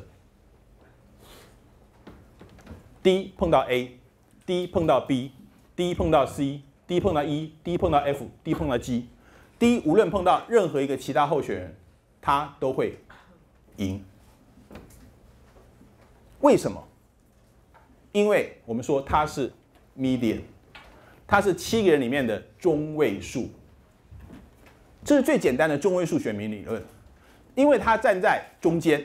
我们这边中间不是说距离的中间，好，我们说七个人写第一显然不在中间嘛，中间假设在这里哈。那但是呢，七个里面它位于这七个人的意识形态的中位数，因此呢，他碰到任何一个其他候选人的话，他都会击败他们。这个叫中位数选民理论，这是最早的所谓的中间选民理论的基本概念。但是呢，这只是七个人在选一个委员会主席。那如果放在一个国家的选举啊，选总统，对不对？选市长，一个几十万人，动辄很多人的选举，这种情况如何应用呢？我们进一步来说明。在说明这概念之前，其实我们用个例子，这个有一个很有很有名的例子，跟各位做一个介绍。从中位数选民理论呢延伸的，好一个赛局理论，一个很有名的概念。哎，我们以前不介绍过赛局理论的一些，各位还记得吗？囚徒的困境啊，小鸡的赛局呀，还有什么？零和的赛局啊，好，等等。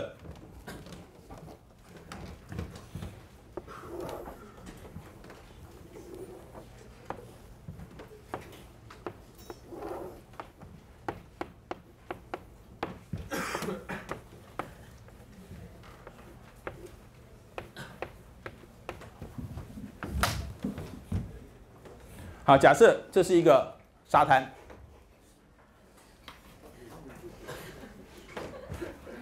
你你们无法想象吗？哎，我我有没有讲过这个故事？我都忘记了。好，一公里长的沙啊，假设你叫做芙蓉海水浴场好了，不管像不像，好，这是一公里长的芙蓉海水浴场啊，这是充满了沙滩，然后这边是海水，好，这是北部的滨海，呃，它是一艘船，好，这是海海海边，好，现在夏天到了。这个一公里长这样这样买票入场，对不对？福农海水浴场一公里长的沙滩里面充满了游客啊！夏天这个马上要办什么这个呃一些这个夏日的什么演唱会。好，这是沙滩里面充满了游客。现在呢有两家这个卖冰的摊贩，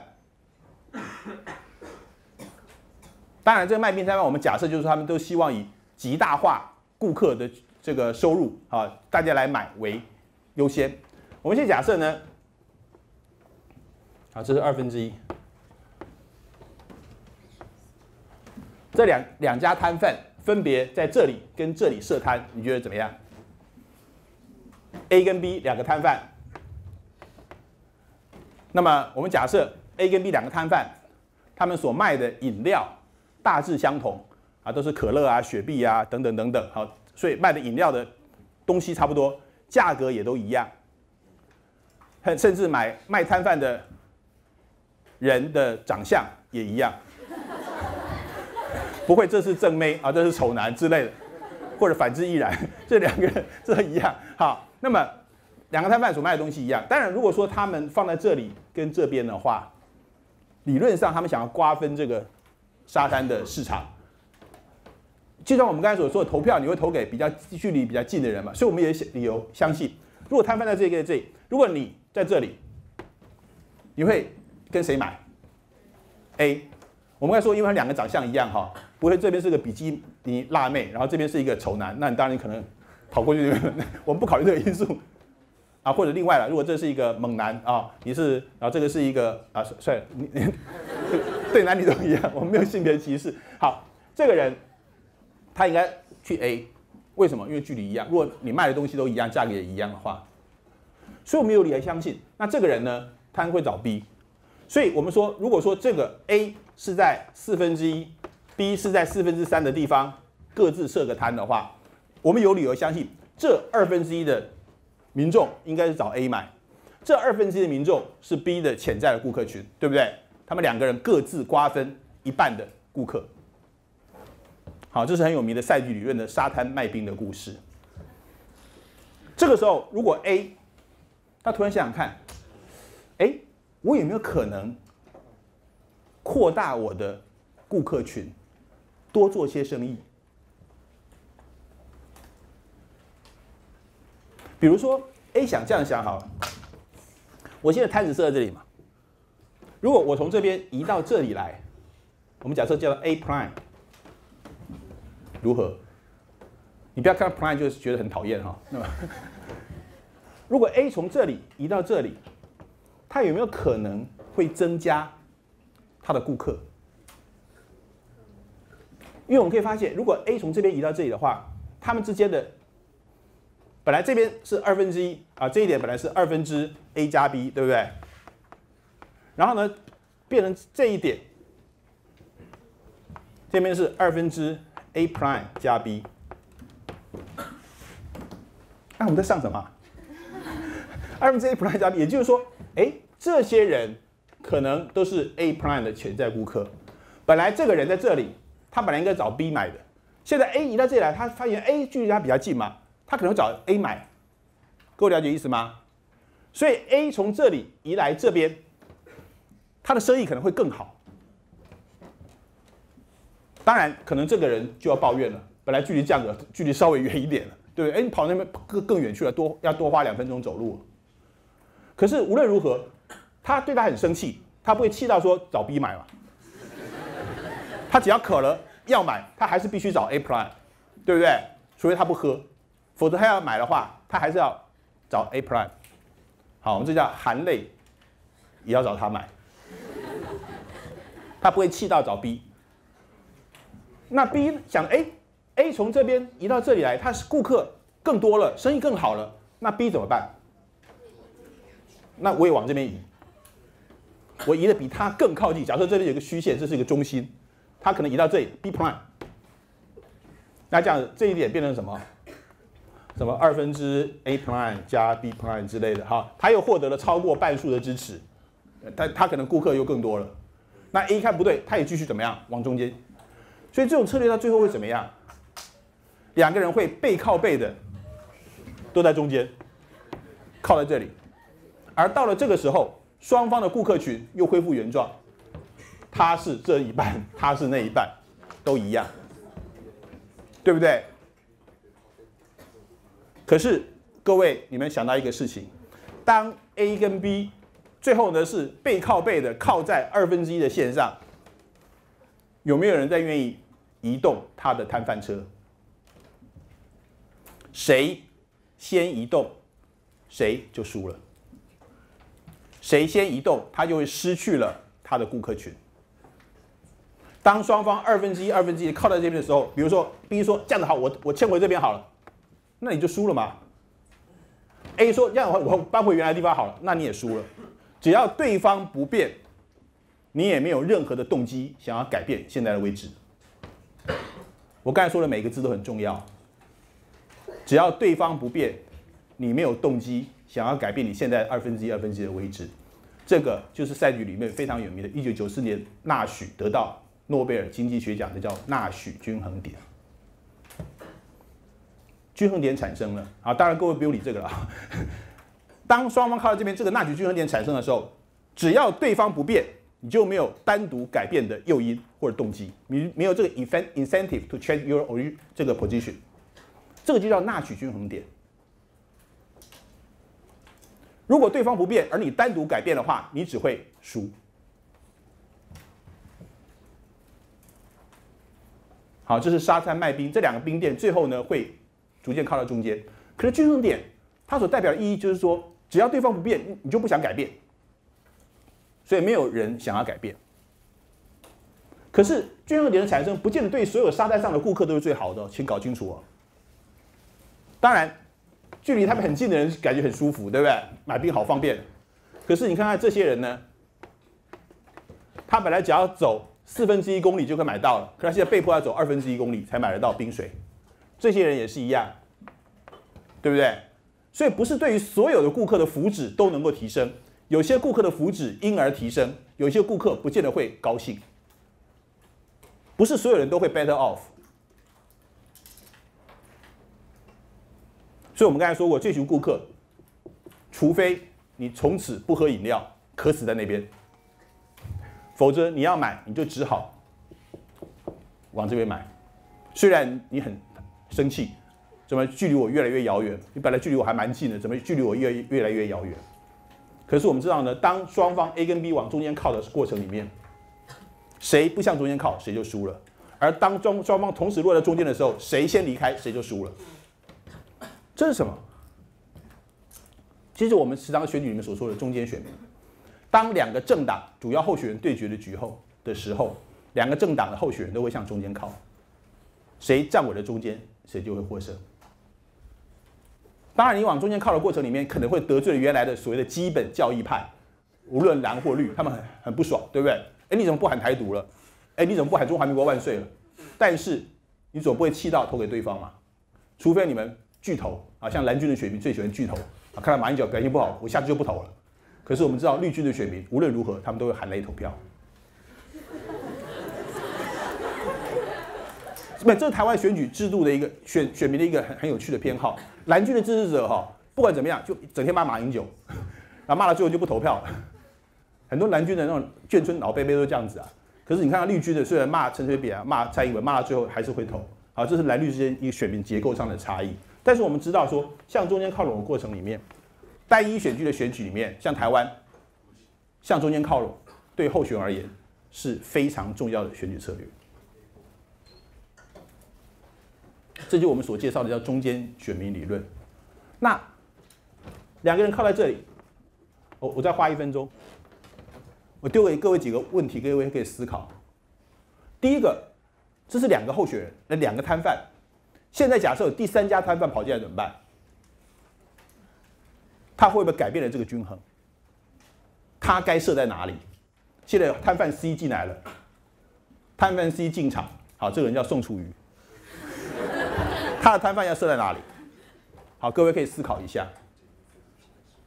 或者是说，目前这个摊这个沙滩不是满满的人，它是有不同的密度分布的。比如说，它是分布在这边一群人，这边一群人啊，中间人不多。这时候两个后两个摊贩还会向中间靠吗？好像这些问题就是我们所说的中间选民理论，其实进一步思考，也就是我们台湾所说的，如果台湾我们的选民分布不是常态分配，是成为两极。那两个候选人还会各自向中间靠吗？或者候选人不止两个，有三个、四个，那候选人策略还是中间选民理论吗？好，这些问题当然以后值得各位进一步思考。我们先休息一下，下节课呢继续来探讨台湾的一些情况。好，我们呃在上堂课呢，呃，针对了选举制度的影响，我们从杜伟杰法则开始来介绍。那么包含了我们特别介绍的像策略性投票啊，或者说像是这个所谓的中间选民理论的概念等等。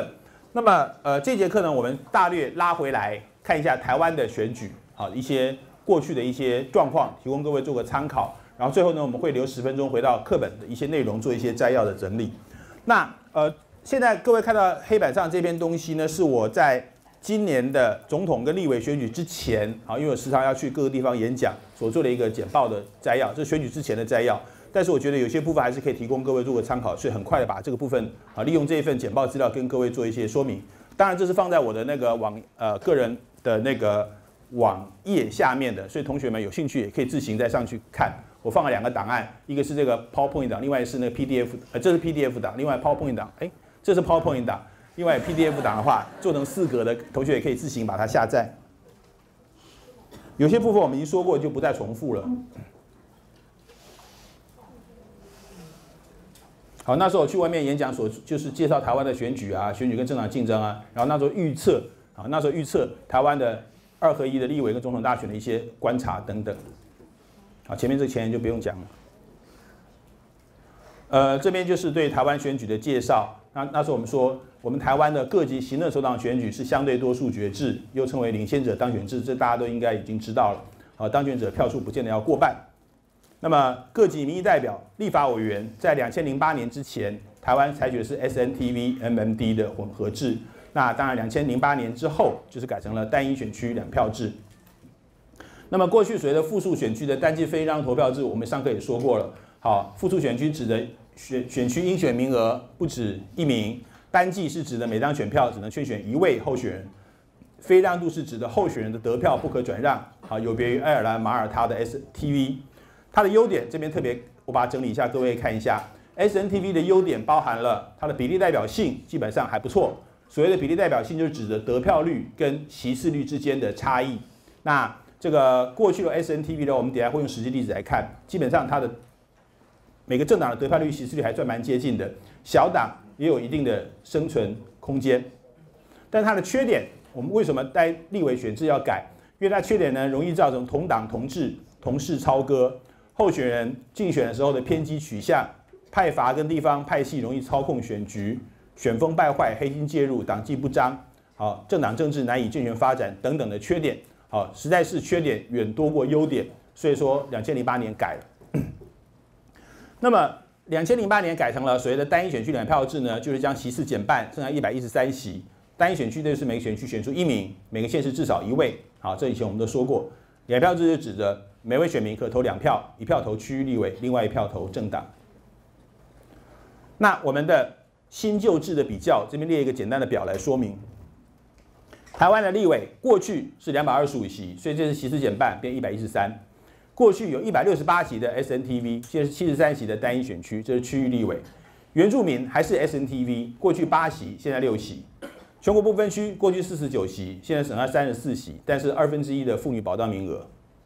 席位分配方式过去叫做并立式的一票制，现在是叫并立式的两票制。政党门槛都是百分之五。那我们刚才所说了，过去叫做封闭式的政党名单，现在还是好，选民只能投政党，不能。挑个别的候选人，立委过去是三年，从两千零八年改成四年。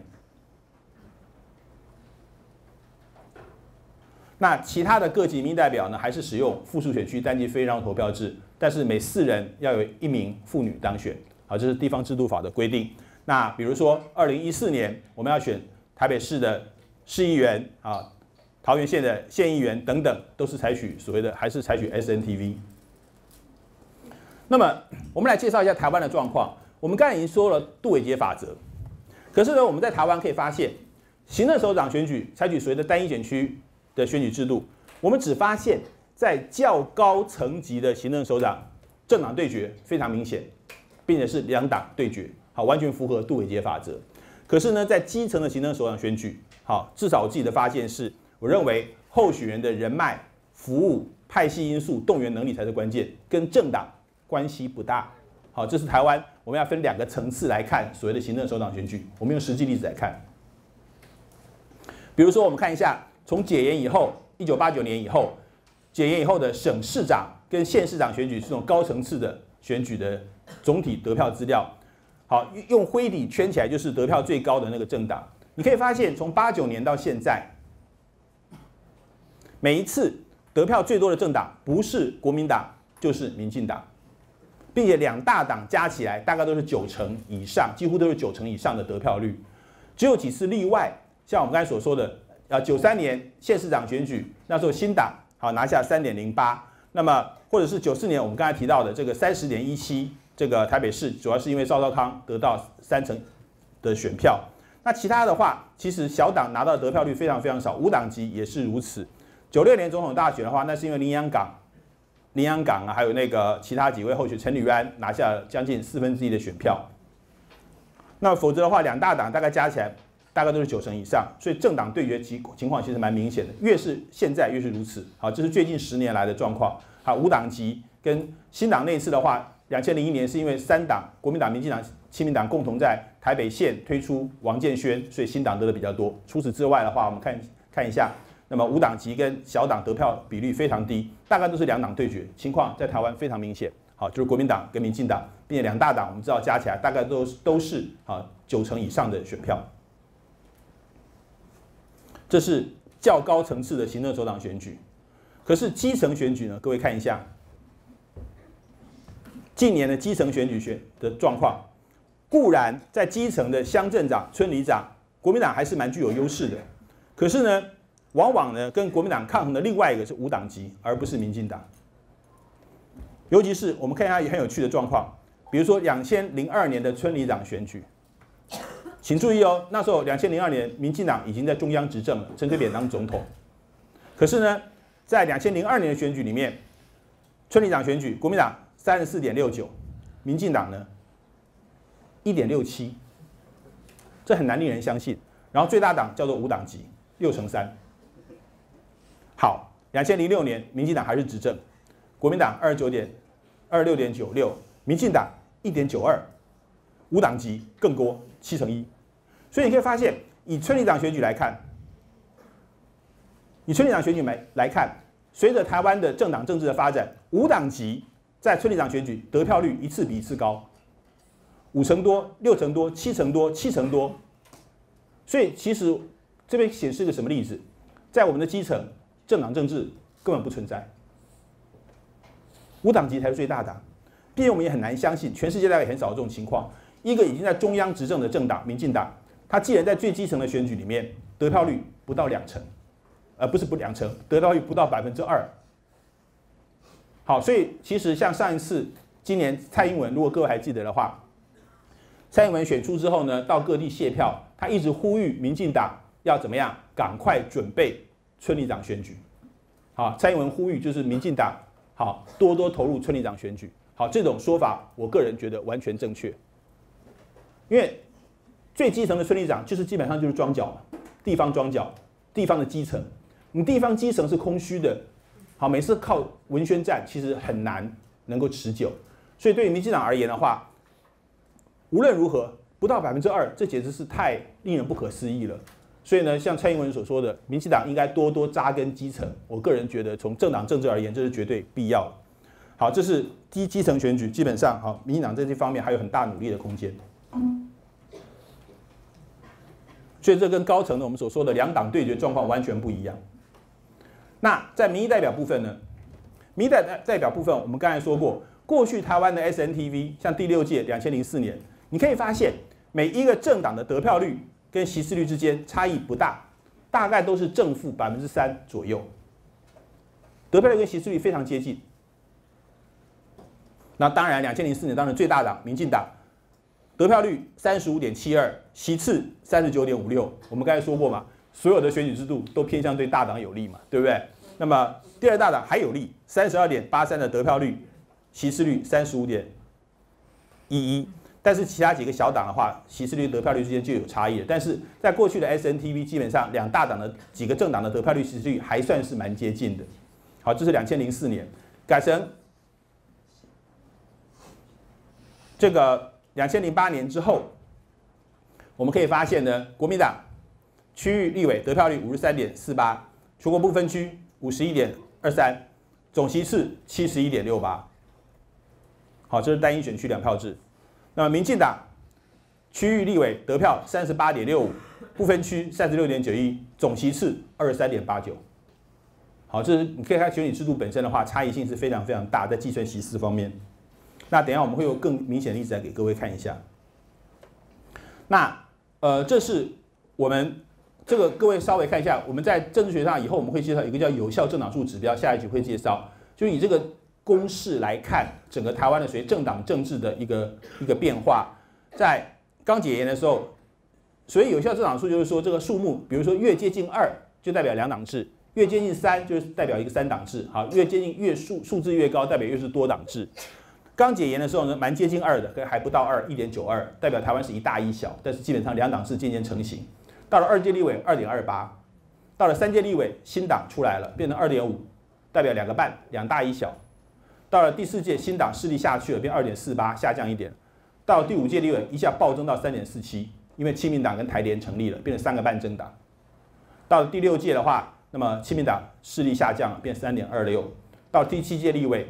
国民党一党独大，变成一点七五。好，这一次的话，第八届今年刚选出来，我计算出来，今年是二点二三。好，二点二三又回复到比较实力接近两党制。好，这以后我们会介绍。那基层民意代表的话，那更是如此。那民意代表部分复数选区的话，也是国民党跟五党集占了绝大部分。民进党在基层的话，还是有待努力在民意代表的部分。那么，这是我们刚才所说的得票率跟行事率。那么，两千零四年的第六届立委选举，每一个政党的得票率、席次率的话，其实差异性不算太大啊，都是我们说过百分之三以内啊，大概差异性还算接近。可是呢，改成了两千零八年，各位可以看一下，区域立委，国民党五十三点四九，席次率七十八点零八，它的席次率比得票率多了二十四点五九。好，前一张图是大概都是百分之三。这个一下多了二十四点五九，民进党得票率三十八点六五，稀释率十七点八一，少了百分之二十点八四。换言之，两个政党的得票率之间的差距五十三点四九减三十八点六五，他们之间只有十四点八四的得票率的差距。可是转换成席次，那么他们席次率的差距啊，一个是七十八点零八，一个是十七点八一，十四点八四的得票率差距，可是席次却差了百分之六十点二七。好，这个差距是非常非常大的。当然，反之亦然了。那么以后民进党也可能国民党之间有这么大的差距，不一定。这单一选区制的一个特色。那么相对多数决制之下竞选策略，就是我们刚才上节课讲的中间选民理论。好，我们这边我想给各位做一个复习。那复数选区制之下很有趣的情况是，我们以后在市议员选举还看得到，过去立委选举，第一个呢，党内竞争比党际竞争更为激烈。因为同一个政党要提名若干人参选，所以的 intra-party competition 远远超过 inter-party competition。你可以发现，在台湾，你可以更简略成蓝军跟蓝军竞争，绿军跟绿军竞争。在市议员或者过去立委选举的话，国民党的候选人都知道，他们最大的敌人不是民进党，他们最大敌人是自己同党的国民党以及亲民党跟新党的候选人。民进党最主要的对手是民进党自己的同志跟。台联的候选人，同志之间的相残，我们所说的同志反目、兄兄弟戏强，在台湾的附属选区，好时常时常看到，好小心敌人就在你身边，好你的你的敌人不是其他政党，其他政党只是作为文宣来骂一骂的，但真正会挖你墙角的，跟你来分食票源的是你自己同党的候选人，好，这是我们附属选区很有趣的一个特色。而在附属选区，我们知道你只要百分之三、百分之五就当选，这一期我们说过，所以呢，对于每个候选人而言，旗帜鲜明，市场区隔。争取特定少数都是必要的。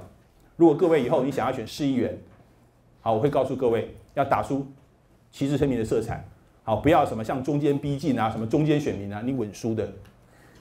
选县市长、选立委，你可以走中间路线；选复数选区的市议员，你一定要旗帜鲜明的来吸引特定选民，选举策略完全不一样。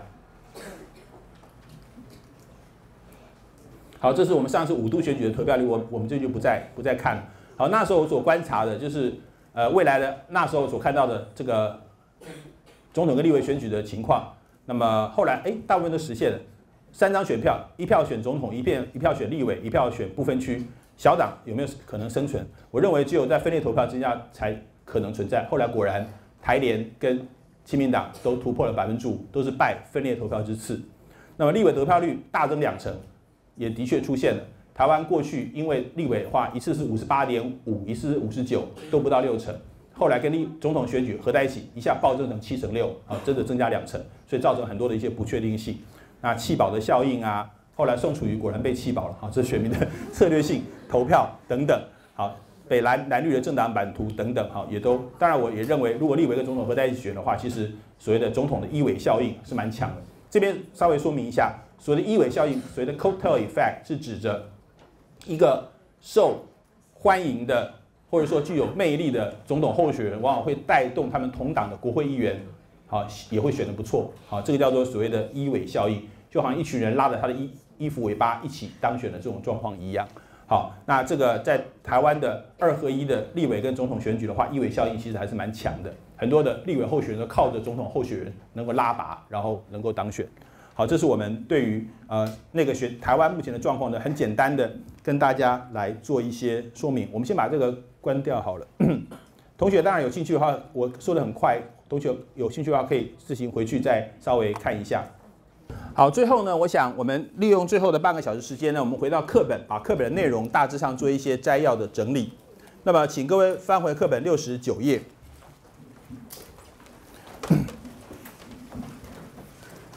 我们呃上次曾经说过，课本的第四章主要是介绍国体，另外介绍选举制度。当然，选举制度部分我们已经在过去的这两三个礼拜，好用我们自己的分类方式跟同学们做了更完整的一些说明。但是课本上的一些内容，我们还是稍微做一些整理，来配合我们上课的一些部分。那六十九页的部分呢，首先他们所介绍就是所谓的单一选区制，也就是我们所说的呃。那么所谓的相对多数决的单一选区制，那课本上也做了一些描述。其实，在六十九页的倒数第二段这边也提到了类似我们所说的。好，各位，比如说，各位看到六十九页的倒数第四行，好，这边也提到了 FPTP，就是所谓的 First Past the Post 嘛，哈，领先者当选制。FPTP countries tend to have two-party system，好。好，倾向于有随着两党制啊，就是我们刚才所说的杜伟杰法则，他只是没有把这名字说出来，但是基本上就是我们上课所说的啊这些呃部分。那么而另外一方面的话，我们看一下呃七十页的部分，七十页的部分呢啊谈到所谓的相对多数决单一选区制本身的一些优点跟缺点，我们这边也稍微做一些整理。其实这个大概都是我们说过的东西。好，各位比如说。你们看一下七十页的第一个 advantage of single member district，好，这一段一开始所说的啊，politics in FTPT system tend to the center of the political spectrum，好，这在说什么？说所谓的单一选区相对多数决制的政治呢，好，倾向于怎么样？好，在政治光谱的中间，这就是我们刚才所介绍叫做中位数选民理论所说的东西，中间选民理论。两个主要的候选人会有逐渐向中间靠拢的这样子的一个这个呃趋势，但是呢，另外一方面的话，那么单一选区相对多数决制，好，如同下面好这边呃所说的，那么它也容易产生所谓的不比例性，就是政党的得票率跟席次率之间可能会有非常大的一些这个呃差别，那么。这个也往往是单一选区是无可避免的一个问题，这个我想很多同学也都啊也都这个也都知道啊，也就是这边啊第二段啊第二段这边所说的。好，这这我们刚才也提到了，各位看到第二段第四行这第三行所说的，二零一零年的例子，英国，英国的保守党好赢得了百分之三十六的选票，但是却可以拿到百分之四十七的席次。那么这是好，这个在单一选区制之下，时常会出现这样子的一种状态，而一些小小的选民的，好 small swing of the votes from one party to another can translate into many parliamentary seats。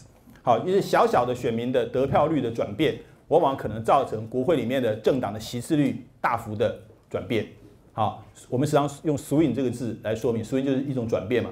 像这次选举的话，在美国我们实际上说 swing state 就是属于摇摆州啊，少数小比例选民的摇摆就会造成国会里面的席次大幅度的改变。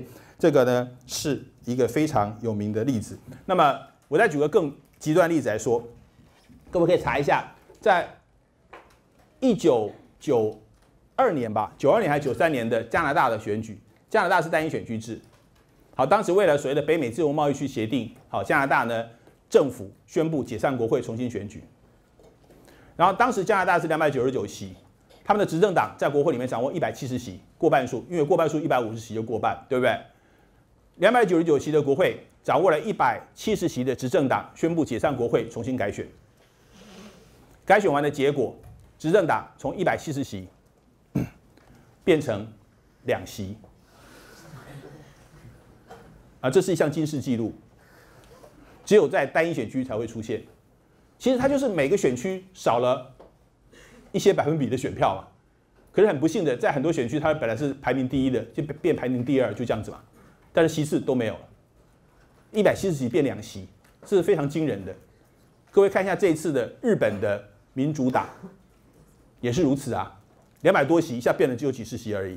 对不对？他不是选你各位，如果你看看总席次，民主党跟自民党没有差那么多哎，可是转换成席次，你可能每一个选区都少个什么百分之五、百分之七而已，但是转换成席次的话，差距非常剧烈。好，这个是单一选区制的一个特色。所以我刚才说过，台湾对不对？哎，国民党曾经一党超过百分之七十，谁知道？说明下一次哪一次选举，哎，突然变成民进党超过百分之七十，这都有可能的。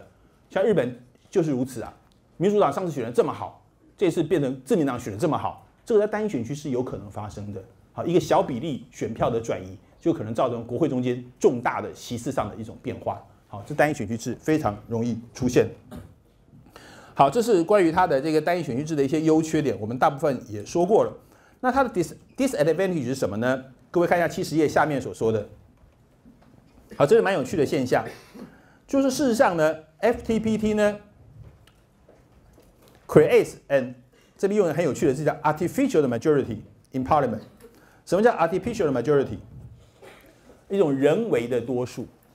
我们刚才所说的，它并不是真的是多数，往往可能百分之三十几的选票在国会里面就可以获得过半数。所以这种过半数往往是一种人为的，是种 artificial 的，因为机械效应嘛，对不对？造成的情况，即使是两轮绝对多数决，它也是一种人工制造出来的多数。因为到第二轮只剩下两个候选人了，被迫有一个人一定要过半。好，这都是是不是选民自然的反应？不见得。好，它是一种 artificial 的所谓的一种所谓的 majority。啊，这是蛮有趣的，同学们可以稍微啊看一下。那么主要是因为是随胜者全拿的一种状况。但是这边还有一个很有趣的现象。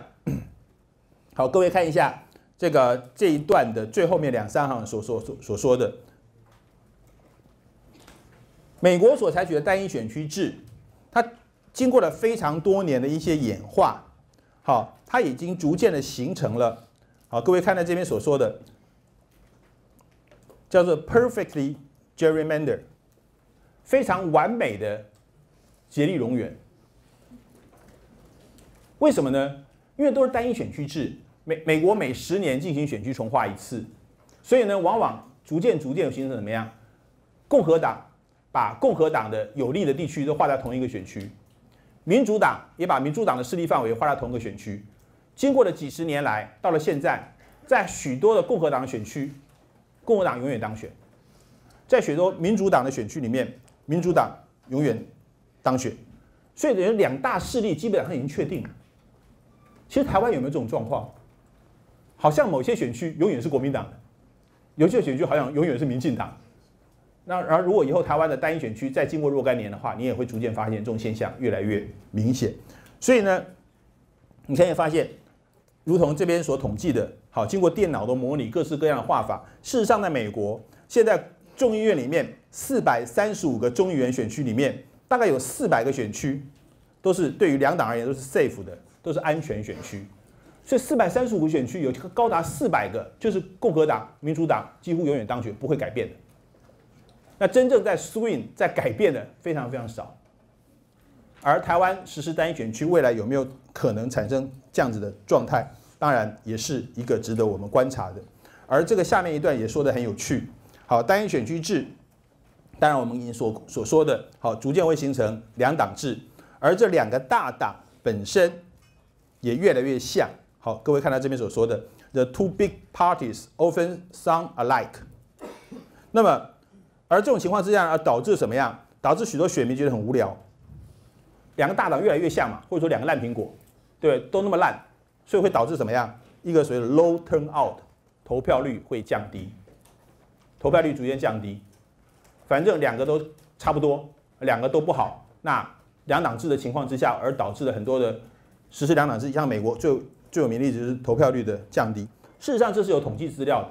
我们把全世界实施单一选区制的国家跟比例代表制的国家来做一个统计分析，你可以发现，平均起来，欧洲国家实施比例代表制的国家的投票率，一般来说，平均起来是高于。单一选区制的国家，像英美这些国家，大概百分之十左右，百分之十左右。这个在台湾大概很难想象，因为欧洲的国家实施比例代表制，选民主要我们说过还是以斗政党为主要投票对象。现在虽然可以允许你投一些个人，可是政党还是主要投票对象。在台湾很难想象，如果投给政党，竟然投票率还那么高。你看欧洲国家竞选过程非常缓和，对不对？也没什么太激烈的。什么候选人整天花车跑来跑去，然后就是一些政党的标签，可是投票率人家就蛮高的。那这个呃，大概平均来说，比例代表制的话，投票率我们说过比单一选区制大概高百分之十左右。其实从政治学理论来解释是有可能的，因为呢，比例代表制的话，我们刚才说过，选票比较不会有被浪费的疑虑，选民都知道我投给这个政党。只要这个政党多一些支持，他在国会里面就有可能多一些席次，所以选民呢不会担心浪费选票，选民不会刻意的进行策略性投票或弃保，对不对？小党没有关系嘛，只要我们大家都支持这个小党，这小党就会多一些得票，就会多一些席次嘛，所以他的选民心理上就不会特别有浪费选票的这种考量。但是在单一选区制之下，一些支持小党候选人，除非你策略性的投票弃保，否则很多人就不投票了。或者说两个大党都差不多都很烂，对不对？两个烂苹果为什么要挑一个？很多人就不想投了，投票率自然会降低。所以呢，从理论上而言的话，欧洲国家实施比例代表制，投票率高于单一选区制是可以理解的。当然，这对台湾不太习惯，因为我们主要还是选人为主嘛，对不对？看到政党就怪怪的。那所以呢，这是不太一样的这个地方，但是的确在欧洲国家是存在。好，这是第一个关于单一选区制。当然，这边所指的是单一选区相对多数决制，它的一些优点跟缺点，好，课本上的一些讨论，大部分呢我们在之前的两三个礼拜也都介绍过了，所以我们在只是啊简单的跟各位做一些说明。那再接下来呢是探讨到比例代表制，同样呢，他对比例代表制也大略做一些说明，然后呢也介绍了它的一些优点啊缺点。那么这个我们刚才也大概请各位翻到七十二页。在七十二页的优点、缺点部分，我们大致上也都介绍过。我们这边也做一些简单的复习。比例代表制呢，当然它的优点，好，基本上就是指的它的比例代表性比较好，每一个政党的得票率跟席次率还算是比较接近的。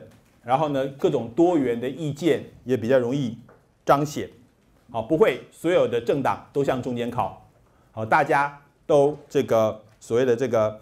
呃，会在意识形态的光谱呢，会分散开来，好，不会说都向中间靠拢，所以各种意见、各种政党，你都可以有机会做选择，这是比例代表制的优点。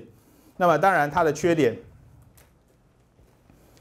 很可能呢，就是说容易造成多党林立的状态，往往的很多欧洲国家必须时常形成联合政府。当然，联合政府不见得一定不稳定，但是除非有特殊的政治文化。但是呢，否则大部分的很多国家，好，我们过去的历史，像法国第四共和啊，像威玛共和等等，好，联合政府都是陷入长期的政治不稳定，当然也不利于所谓长期的政策的推动。好，我们举一个例子来说，像是法国第四共和最具有代表性。法国第四共和呢，是从一九四五年到一九五八年，一九五八年第五共和出现了。一九四五年到一九五八年十三年里面。法国第四共和总共倒戈二十六次，平均每半年一次。但事实上呢，法国的第四共和的二十六个内阁的倒戈，任期最长的十一个月吧，我记得，最短的五个小时。那这种政府，它怎么可能推动什么长期的经济建设什么计划？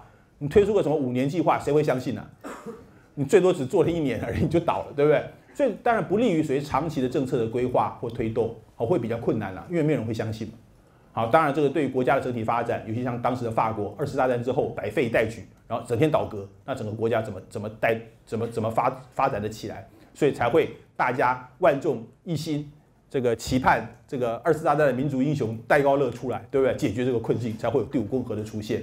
所以这是没有办法，就是你联合内阁的话，多党林立的话，往往可能会让国家陷入不稳。当然，现在很多欧洲国家多党政府还是还不错了。那么像很多的国家的话，并不见得会时常倒戈，那是他们比较特殊的，比如说共识型的政治文化，就我们下一集会谈论到啊等等，会造成像欧洲很多国家，北欧啊、西欧一些国家，虽然是联合政府，像德国也如此。好，现在梅克尔的政府也维持了蛮久的时间的。所以呢，这个情况之下，以后我们还要进一步的讨论。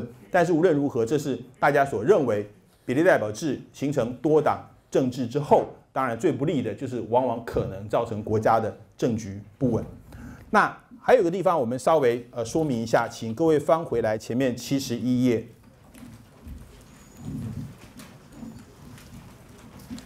呃，七十一页，各位看一下这个 comparing 这个属于比较，它这边是稍微介绍一下法国跟德国的啊比较特殊的选举。我们说过，这不是特殊，已经成为很重要的选举制度的分类，所以我们特别把它这个法国的两轮决选制跟德国的联立制特别花了一些时间加以介绍。但在这个课本上有个资料有点错误，请同学更改一下。各位看一下这个 comparing 的右边第六行的地方，好，它这边所指的是德国的单一选区的选区是有三百二十八，有没有？请把那边改成两百。九十九，我们刚才已经说过了。德国过去是三二八，没错。德国过去的话，总席次是六百五十六。那最近十年，他们也是席次做减少，变成现在变成五百这个五百九十八席了。所以目前的区域部分，他们只剩下两百九十九席。所以这个部分，那么课本还是错的，请把它更改为两百九十九。那大致上呢，这就是我们对于课本内容比照我们过去三个礼拜的讨论，好所做的一些这个说明。那我们大致上呢，这学期的课大概就到这个地方。那最后，请各位看到七十二这边，我稍微说一下，它最后面用了一小节，七十二到七十五页哈，大致介绍一个 state 跟 economy。